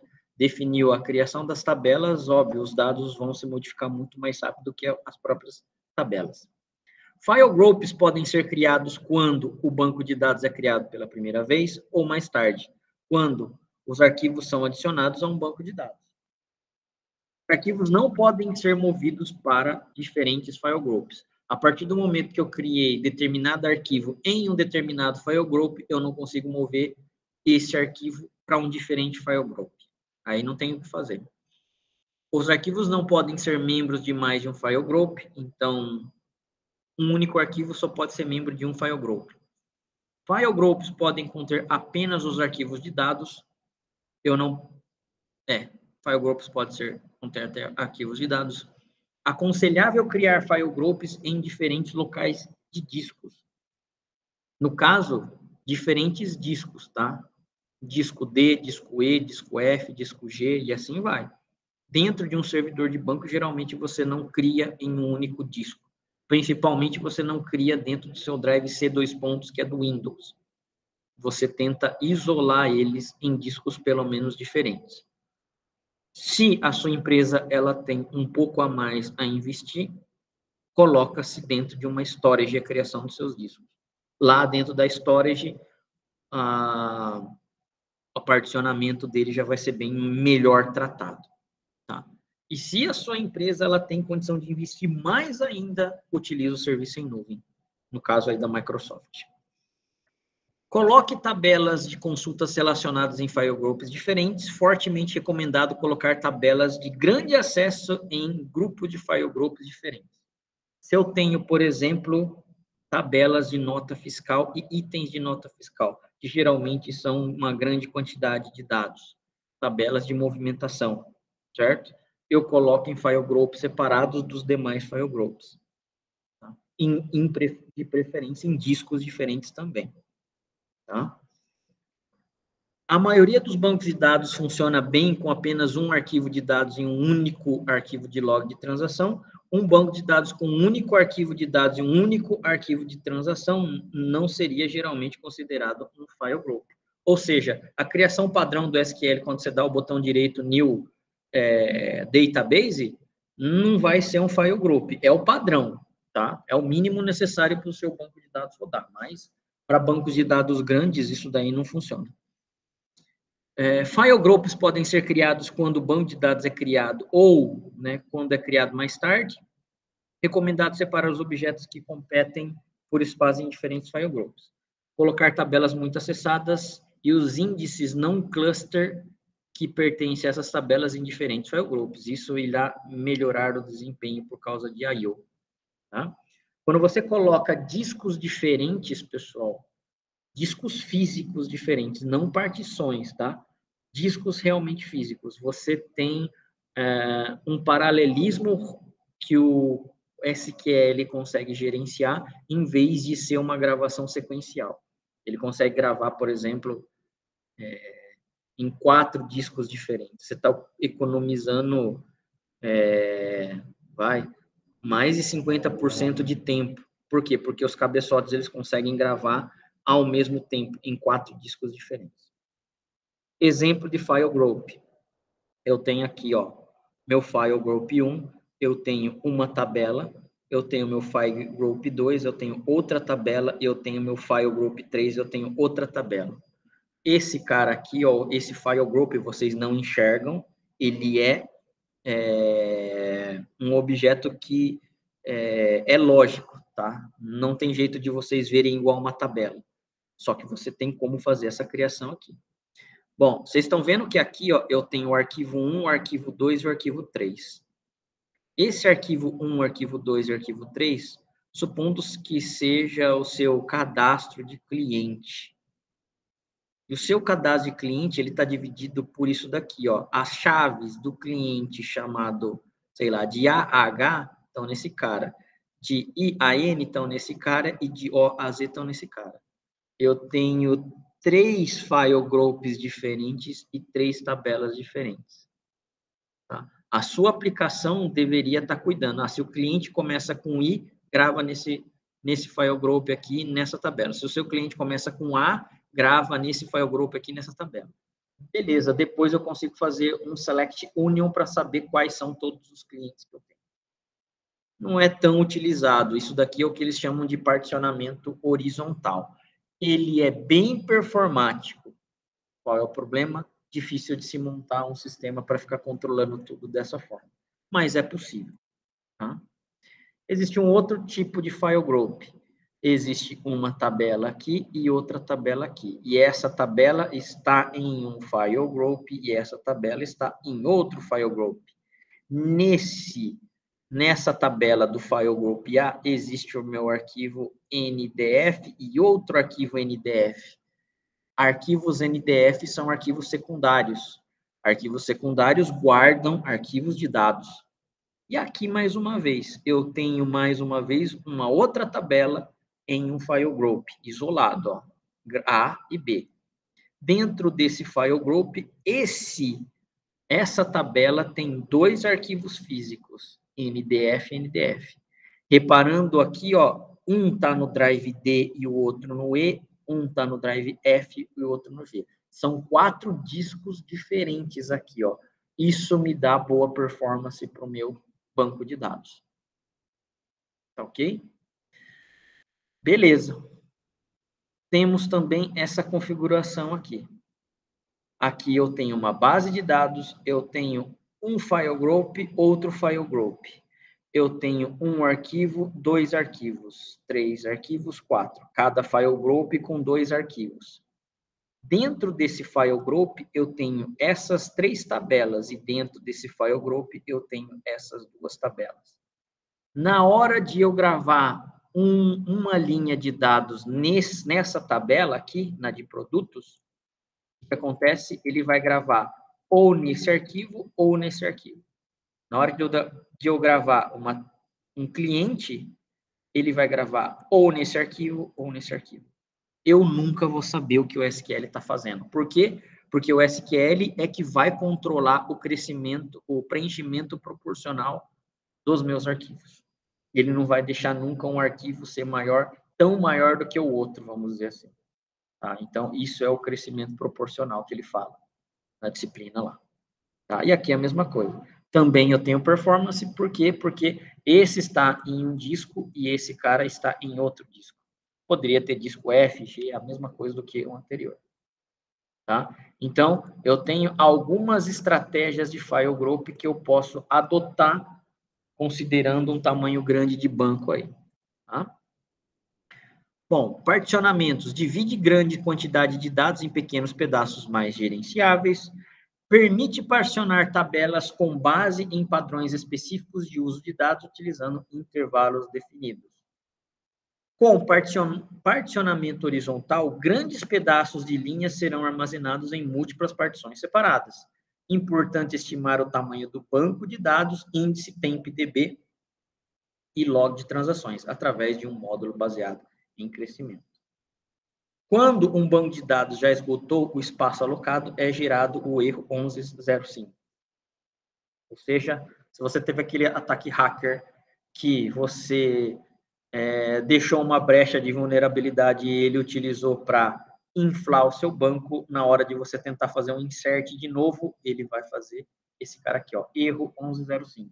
Você vai saber que é o erro que não existe mais espaço. Extensões de arquivo, primary file, MDF, o arquivo de dados primário contém informações de inicialização de banco de dados e referência para outros arquivos. NDF, secundário que pode ser utilizado para espalhar os dados de arquivos uh, colocados em cada uma das unidades de disco diferente e o Transaction Log LDF. Mantém todas as informações que são usadas para recuperar no banco de dados.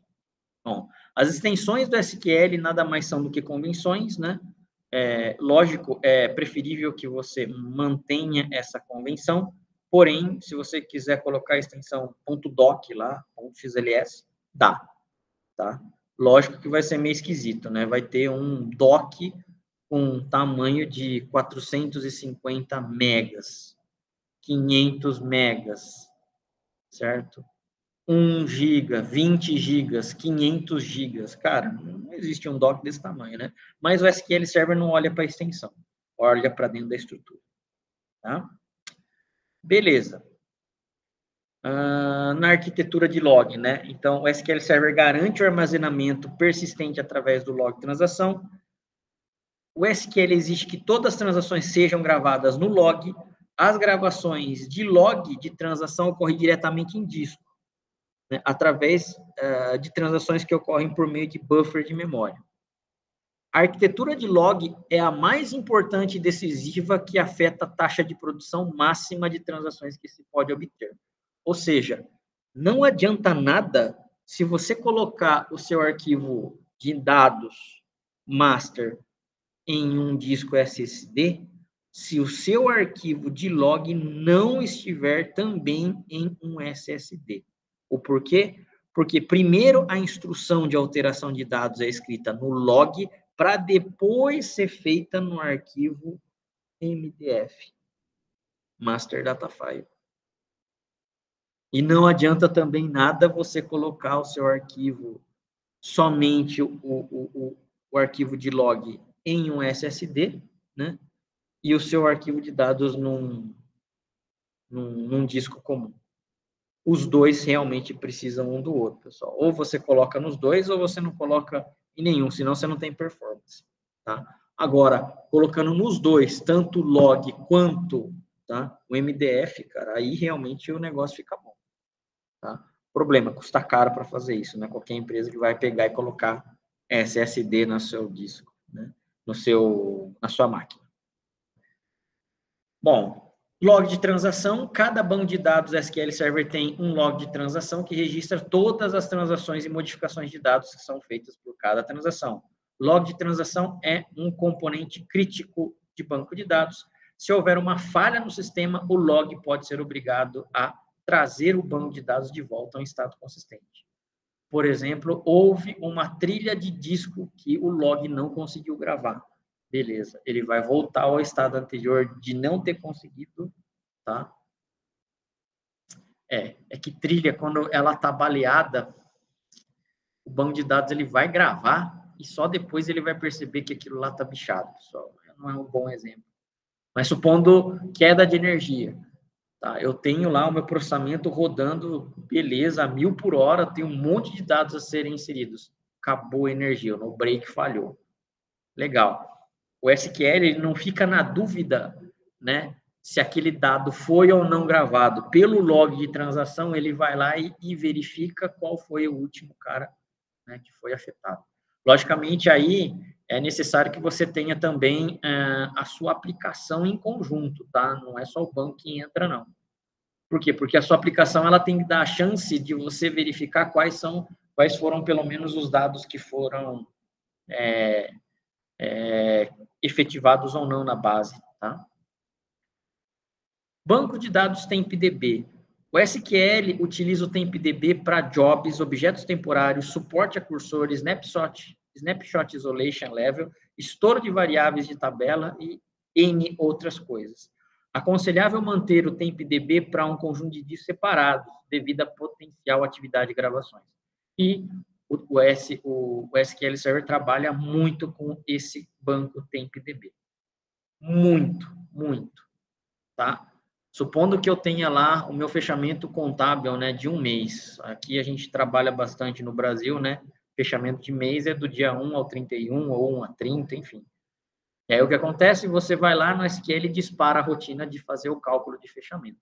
Essa rotina de fechamento, obviamente, ela não é tão é, leve assim. Demora geralmente um dia. Legal. Enquanto isso, enquanto ele está processando, ele está armazenando pequenos pedaços dos resultados em uma parte do SQL Server, ou seja, dentro do TempDB. Tá? Após ele ter tudo processado, ele vai no TempDB, pega o que ele tem que pegar e emite o relatório para o usuário. Ok? Bom, boa prática é criar um arquivo TempDB por processador, considerando um processador em, de um núcleo, né? Tendo esse processamento é, desse banco. Dentro do banco de dados, dentro do SQL Server, você tem lá a quantidade de núcleos que o SQL Server está trabalhando. Geralmente você vai ter que de, é, é, saber qual é o tipo de licença que o SQL que você tem para justamente você configurar isso daí, tá? Se eu tenho um SQL Server registrado por licença em CAL, eu não preciso me preocupar com a quantidade de processadores da minha máquina virtual, da minha máquina real lá, do meu host físico. Legal. Agora, se eu tenho o meu licenciamento pro processador, aí sim eu tenho que me preocupar com esse cara aí. Tá? Por quê? Porque a boa prática é você criar a quantidade de arquivos TempDB, né? É justamente com a quantidade de a, a, quantidade de processadores que você tem, ou vCPUs no seu servidor. Tá? criando mais, ele não vai gerenciar tão bem. É, eu não tive uma experiência tão boa em criar mais de um arquivo, apesar dessa recomendação da Microsoft. Para mim, para minha operação, ele deixou mais lento, tá?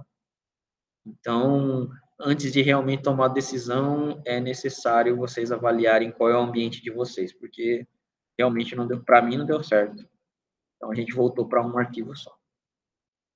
Para se criar arquivo MD, uh, é, arquivo de file groups, então a gente tem isso daqui, ó. Create database, o nome do seu database on primary. O on primary quer dizer o quê? Que vai ser o arquivo master aqui, ó name, file name, size, max size, file group. Beleza. Tá aqui dentro, ó, arquivo MDF. Ainda no mesmo cara, ó o cara novo que a gente colocou aqui, ó, file group FG1. FG1 é qualquer nome, poderia ser X, Y, Z, enfim. Todo esse arquivo aqui que está sendo criado, está sendo criado dentro desse file group aqui, ó. Ele tem size, max size, file group, nome lógico e nome físico. Tá aqui, ó. Depois, log on. O log on, ele está sendo o quê? Criado o log de transação. Name, file name, size, max size, file group. Então, desse modo aqui, ó, a gente está criando um único arquivo em um file group. Tá? Agora, a gente está fazendo o quê? A alteração, tá? Da, do file group FG1 para ele ser o default. O porquê? Porque aqui, ó, é, se a gente cria nada de especial, se a gente não faz a criação dele, ele considera que o on-primary é um file group. Na verdade, não é, é o padrão realmente de, de, de, de criação de objetos que o SQL Server tem.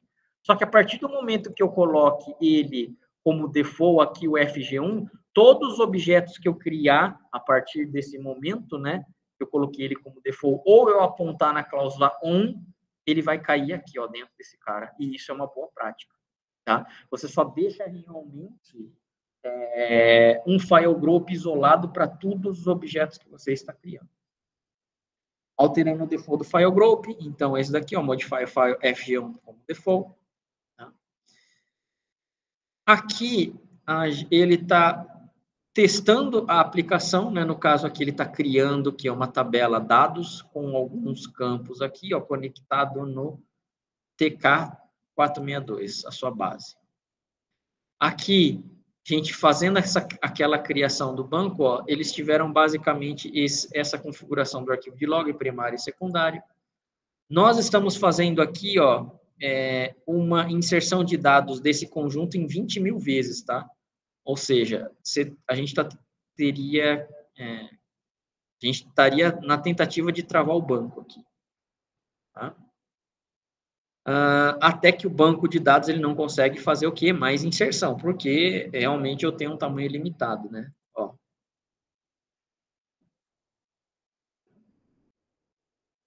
Ó o max size dele aqui, ó. Se eu tenho o meu LDF que não pode mais crescer, e se eu tenho o MDF, o NDF, que seria o meu arquivo secundário, né? De dados, que não pode mais crescer, já era eu não consigo fazer mais nada com eles. Tá? Não, chegou no tamanho máximo, já era, não tem jeito. Tá? Bom, então o banco de dados não irá mais conseguir fazer as inserções. É, alter database, o nome do meu banco, modify file, size, agora aqui a gente alterou para 15 megas, ó. Antes era 10, agora a gente fez uma modificação para 15. E aí ele vai fazer o que? Mais insert é, irá ainda dar erro, pois os dados, as tabelas de dados não estão no arquivo que aumentamos. Quando a gente aumentou aqui, ó, a gente está aumentando quem? Modify o file tk42 underline data, né? Esse cara aqui. Esse cara aqui é o arquivo primário, mas nós estamos gravando os dados no arquivo secundário, então é por isso que não deu certo na hora de fazer a inserção novamente, ele vai dar erro.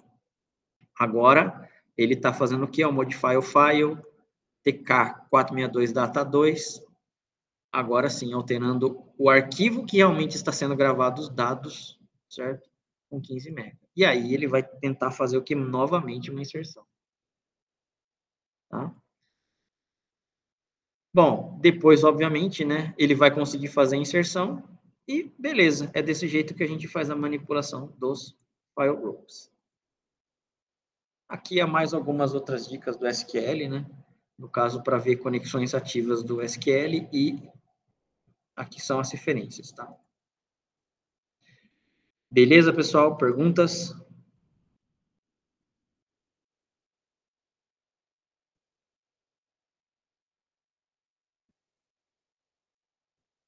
Nenhuma? Vamos continuar então. Última etapa aqui.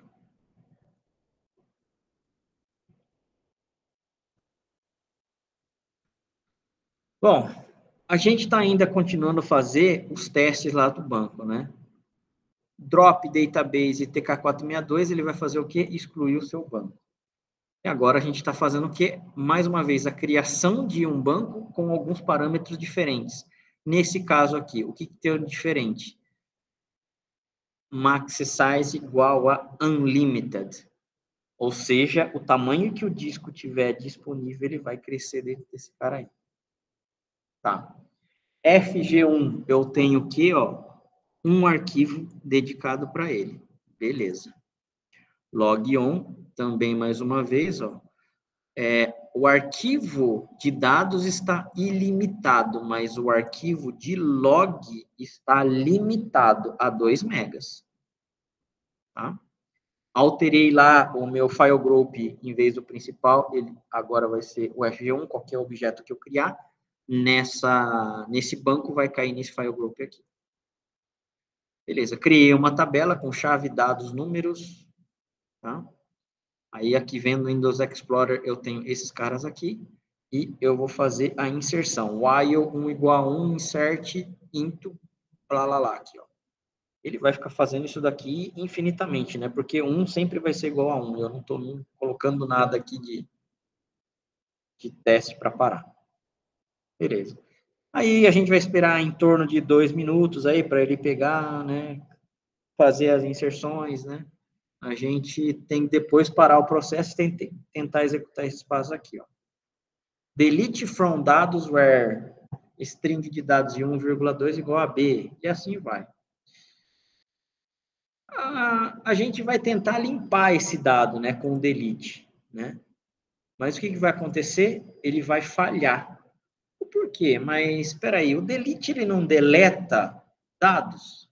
Sim, no arquivo master, se a gente der esse comando depois, ele vai pegar e vai fazer com que seja feito a deleção. Agora, o problema vai estar tá onde? No log. No log, eu, não existe deleção de dados. Dele, no log existe só inserção de dados. É uma inserção dizendo que esse registro foi deletado. Vai ser mais ou menos isso daí. Tá? Então, mesmo fazendo um delete, já era. Eu tenho que ter espaço no log para ele poder atuar. Senão não tem jeito. O SQL ele não vai deixar você pegar e executar o comando de jeito nenhum. Se é no log que ele tem que registrar essa tarefa, cara, não tem o que fazer. Tá? Bom, tentando aumentar o tamanho do log, alter database, tk462, modify file, o nome lógico, size igual a unlimited. E aí sim, depois a gente pode fazer o quê? O nosso delete. Ok? E aí sim, verificar novamente, ele vai pedir aqui, beleza. Esse foi um dos exemplos de file group que a gente criou. A gente tem um outro também, ó. Create database T462, né?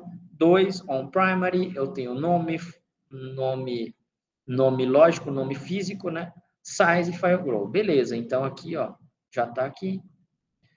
File group 1, mais uma vez, nome, né? Lógico, nome físico, tamanho e file group. Vocês estão vendo que aqui, ó, agora eu já tenho o quê? Um outro cara, a mesma coisa basicamente, só que com nomes diferentes. Tá ok? O que, que acontece aqui? A gente uh, estamos fazendo a criação de dois arquivos, certo?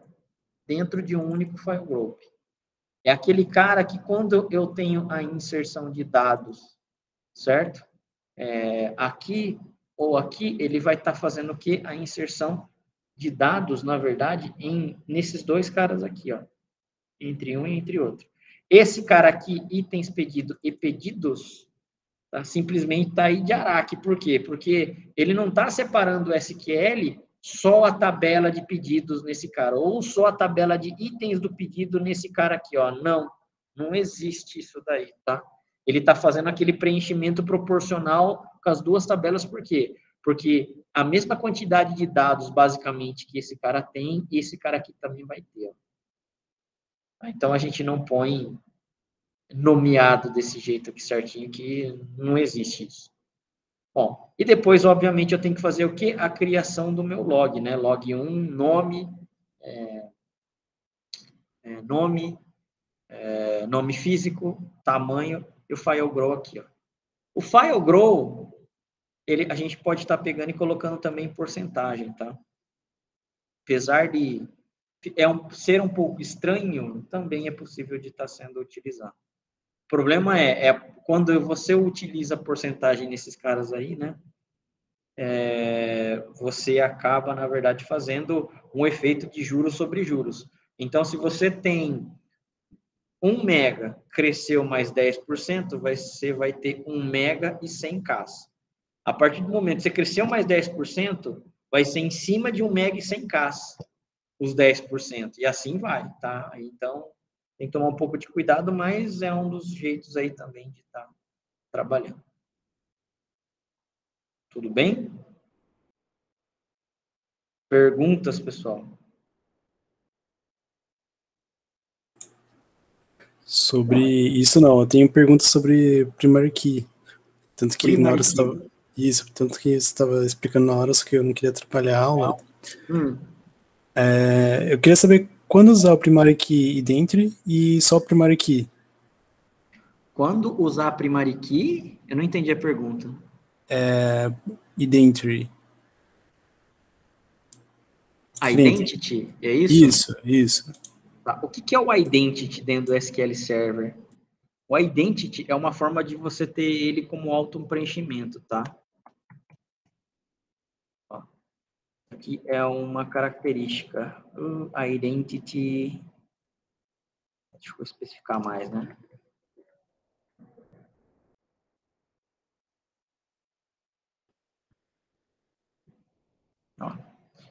O identity é uma propriedade tá? Você coloca o início dele, o sed, né, que é a semente que ele fala, o incremento. Geralmente o incremento é de 1 em 1. Você pode pôr de 2 em 2, de 3 em 3, vai de acordo com o que você precisa. A primary key, ela sempre é o que? A característica não nula e única, correto?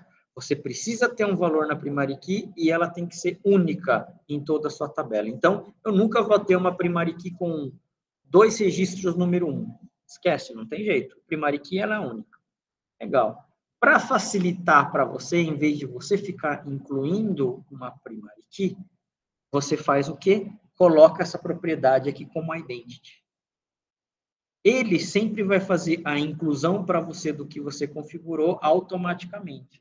Se a minha primary key anterior era tinha o valor 1, a próxima vai ser 2. Se já tinha o valor 2, a próxima vai ser 3 e assim por diante é o SQL que começa a controlar o valor da sua primary key com a propriedade identity ativa. Tá? Quando você não coloca, bom, quando você não pode realmente ter como representação uma sequência. Supondo que o seu código de cliente, supondo que você tenha lá um sistema de cadastro de carro, porque você está querendo automatizar o seu estacionamento provavelmente você vai pegar a placa do carro, né, para ser a sua primary key. Por quê? Porque ela nunca se repete. É um dado bom para ser primary key. Só que o que, que acontece? Você consegue incrementar simplesmente uma placa de carro? Não. Você tem que formar a chapa, a chapa do carro, né? E aí hoje tem uma variante lá que é a do Mercosul, né? Que também vale. Então, aquilo é uma string. Você não consegue incrementar uma string, não tem jeito, tá? E aí o que, que acontece? Nesse caso você não utiliza o identity. Você simplesmente coloca ela como primária, mas o usuário tem que fazer a parte dele de ele preencher a placa manualmente, a, a, isso, a placa manualmente. Tá? Então, são esses casos que você utiliza ou um ou outro. sem identity ou com identity. Entendi. Obrigado. Ok? Imagina. Mais perguntas, pessoal?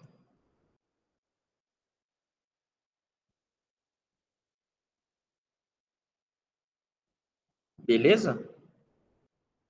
Bom, é, aí no arquivo de vocês, no arquivo zip, ó, tem todos os arquivos é, SQL, tá?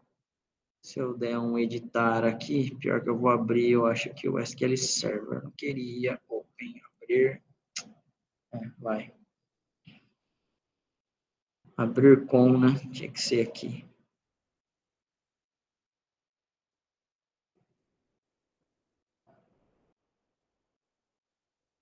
Tudo bem, não vou conectar, não. Ó, todos os arquivos aqui, pessoal, do que a gente viu nos slides, tá? Estão já preparados para serem testados e executados, tá? Ô, professor. Oi. Tô fazendo as inserções aqui agora. Para eu testar agora, né? Eu não sei se. É, só falta isso, né? Tipo, fazer as tabelas e inserções. Eu não sei se precisa ligar uma tabela na outra. Acho que já foi feito isso já. Né? Só isso daí, pelo que eu acho que eu coloquei lá no exercício, seria só isso daí mesmo. Ah, então, eu criei a tabela, beleza, eu tô fazendo as inserções, só que numa dessas inserções não tá dando, que é o Employers, que ele tá fazendo um to date, que ele não tá encontrando. Aí eu pesquisei na internet esse to date, ele, não, ele falou que é desse jeito mesmo, só que não tá indo. Compartilha a tela com a gente, então. Eu vou descompartilhar aqui.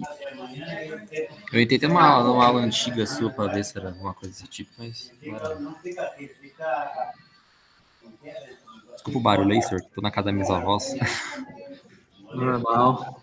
É, aqui, ó. Tá vendo esse to date aqui, ó. Deixa eu aumentar o zoom aqui. Nossa, não dá pra mim, eu estou enxergando. Date aqui, ó. Aí quando eu tento colocar lá.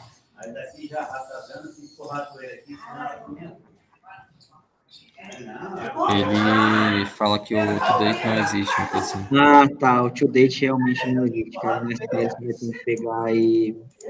Fazer comando Oracle. Aí eu tentei, tipo, eu entrei na internet aqui, pesquisei. Ah, não sumiu aqui. Não, é o insert de vários que eu já pesquisei. Aqui, ó, como se ele dá na tabela. Só que acho que isso aqui é SQL, eu acho. O cara tá fazendo aqui, ó. Date, formato formato do modelo. Não, o to date é Oracle, cara, não adianta. Ah, aqui estou no Oracle. É, olha lá. Não, o to date é Oracle, não existe o DNSQL. Vai lá no seu.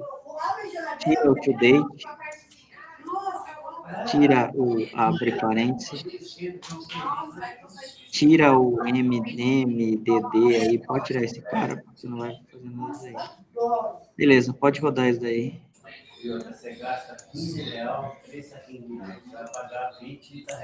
Acho que vai ter que colocar ano, mês e dia. Ah, coloca ano, mês, dia, tudo junto, cara. Sem, e o sem ano com quatro dígitos.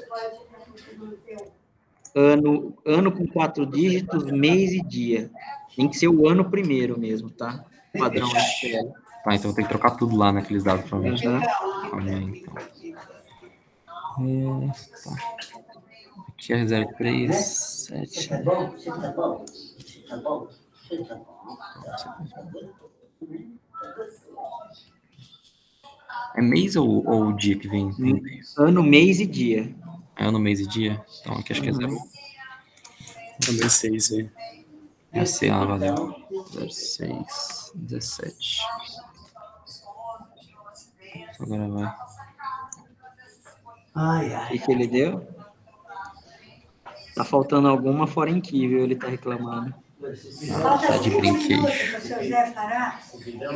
Porque eu já criei essa tabela, preciso dando esses, esses avisos. Tô criando em employers. Deixa eu ver. Perdão. Ué, manager ID. Eu tenho que colocar aqui manager ID aqui também? Ou não? Acho que não, né? Ah, não, é de, ah, não, é de employers mesmo, tá certo. Então, mas ela não é obrigatória, né? Ó, você não precisaria estar inserindo nela, não. ainda. Pô, fui ver lá um queijinho lá de 300 gramas, 22 reais. Vai. Entendi agora. Nossa, mas tá muito baixo assim, meu Deus. 4,39. É, eu eu aprendi, porque eu tô aprendendo aí, né? Agora eu vou ter que aumentar e aumentar. Não, três queijos, três. Três saquinhos dá Três três saquinhos daquele queijinho. É. Ele tá falando, ó, a Department ID. Sim. É esse daqui. Esquerda. The conflict occurs in database e tal, tal, tal. Aham. Mas aí é que tá. Qual é o departamento que você está tentando inserir aí nesse, nessa tabela? Soro. Aí vai mais. Soro. É verdade, né? Department ID. Eu não coloquei a for aqui, eu acho. Não, mas ó, é, é aquele negócio que a gente falou. É, você vai ter que inserir dados primeiro na department para depois inserir na, no employees, porque o department precisa ter dados de aí dentro. Se você der um Ah, select no department, não deve ter nada. Tá, tá. Beleza, vamos, vamos tentar aqui agora. Vamos ver. Ah, se eu conseguir mudar tudo, vou deixar isso aqui. Tem como comentar, senhor? Isso que é uma dúvida também que eu tinha esquecido. É, traço, traço. Traço, traço. Aham, na- no começo da linha. Ah, top. Vamos ver. Certo aqui.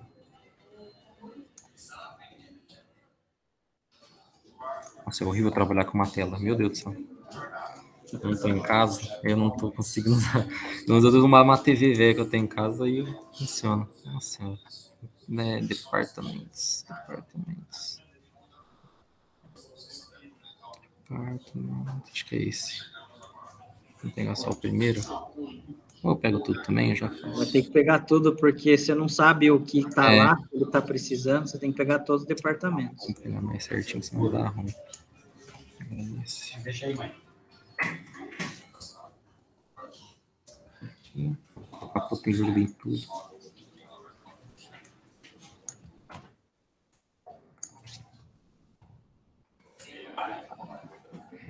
Demorar, mas vamos embora.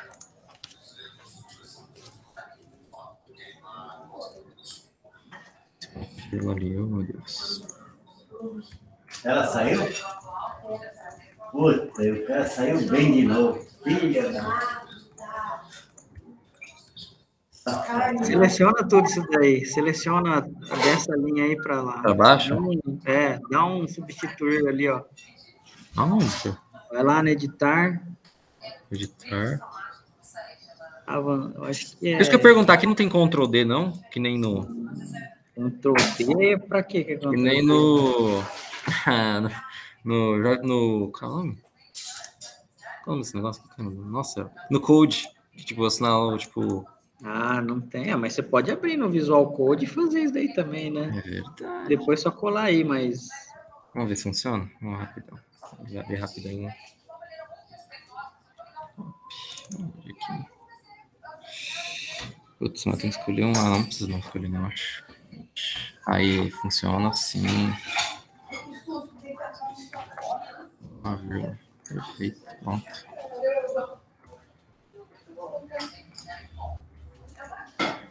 É isso que falta. Deixa sem, coloca um aqui embaixo. Que isso? tem que ser na tabela Ah, de tem que mexer aqui, é departamento, verdade. né? Tá faltando mexer aqui. Então, esse employers. Cadê employers que eu tinha deixado aqui? Não, é departments. É.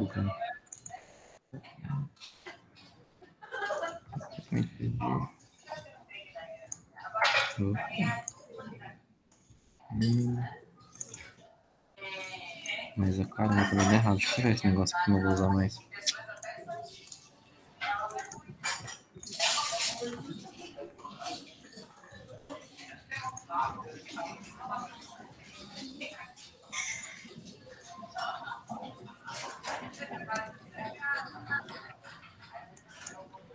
São quatro dados. São um, dois, três, quatro. Beleza, tá certo. Agora vai.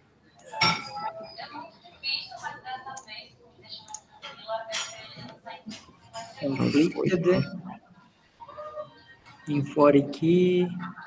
Manager ID. É o manager ID do outro também que deu. Employers. Mas foi do Employers aí. Vai.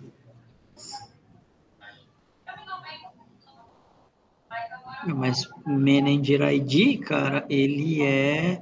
Você está inserindo o Manager ID aí? E lá Não. no seu insert into? aí no seu comando. Tá Ah, aí tô, o tô, tô. ID. Tá aqui. Vê quantos. Você tem quantos? Um, dois, três, quatro campos. Um, dois, três, quatro. Cara, tá tudo certo. Esse aqui é o. Oh, caminho errado. Esse aqui é o que eu fiz, ó. E tá aqui, ó. Departments. Manager Já sei, cara. Você não vai conseguir fazer isso daí. Vai lá na sua tabela ali, ó. Onde está o campo Manager ID, você vai ter que substituir por nulo para depois você dar o update.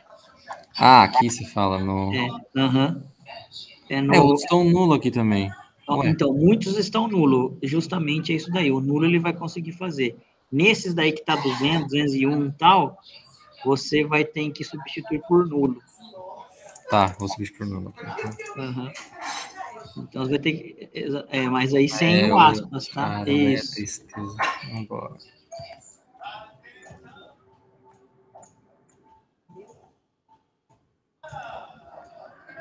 Opa.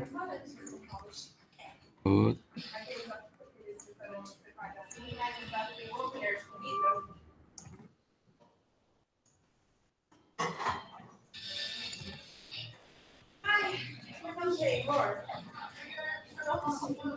Gravar. Vamos ver. Agora foi. Beleza. Aí depois você vai ter que fazer o update nesse cara aí para incluir Manager ID. Depois que você incluir a employees. Tá, então agora eu, eu jogo isso aqui pra cima, né? Melhor, né? Vou deixar certinho pra enviar pra você. É essa, esse, esse é outra dúvida também. É esse documento aqui que a gente vai enviar pra você, né? Esse. Sim. Uhum. Beleza. Aí o que, que vai acontecer? Eu vou rodar ele de ponta a ponta. Ele tem que pegar para mim. Assim, você vai dar um execute na hora, assim. É. Vai ter que tá Ou você vai fazer por linha. Não, não, vou fazer. Vai fazer assim desse jeito? executando. É, eu vou, tenho, eu vou, então eu vou, vou apagar a banca de. É, só pra pergunta, eu tô pagando desse jeito o banco de dados, não sei se é o certo. Eu clico aqui, botão direito e apago. Beleza, delete. Já era, tá certo. Aconteceu. Morreu. Muita coisa aberta, nossa. Imagina, foi só quando chegou em E ele morreu. Imagina, não podia já tava de novo, doido esse cachorro. E agora, você vai voltar ou não? É, cara, compartilha sua tela que ele tá pesando em memória, velho. Não tem jeito. Beleza. Mas é isso daí. Aí Acho que é isso é Fazer o insert na sua employees e depois fazer o update desses caras aí. É, então, tipo assim, é, ah, então, tipo, eu adiciono employers, aí embaixo do employers eu nem adiciono ainda o. Qual que é o próximo que eu teria que adicionar? o Não, Job o Sister. update Eu já faço o update primeiro. Para que os campos Manager ID da tabela Department seja preenchido. Para aqueles que eu, tirei- eu deixei no, claro. Tá, Isso. Beleza. Beleza. Beleza? Beleza. Então eu faço isso depois de employer, só pra ter certeza. Isso. tá, beleza, valeu, senhor. Acho que é só isso mesmo. Beleza, então, pessoal. Fechado, então. Bom, só isso por enquanto. Obrigado aí pela presença de todos, hein? Tchau, Valeu, tchau, senhor. bom final de semana. Fim de semana aí. Falou.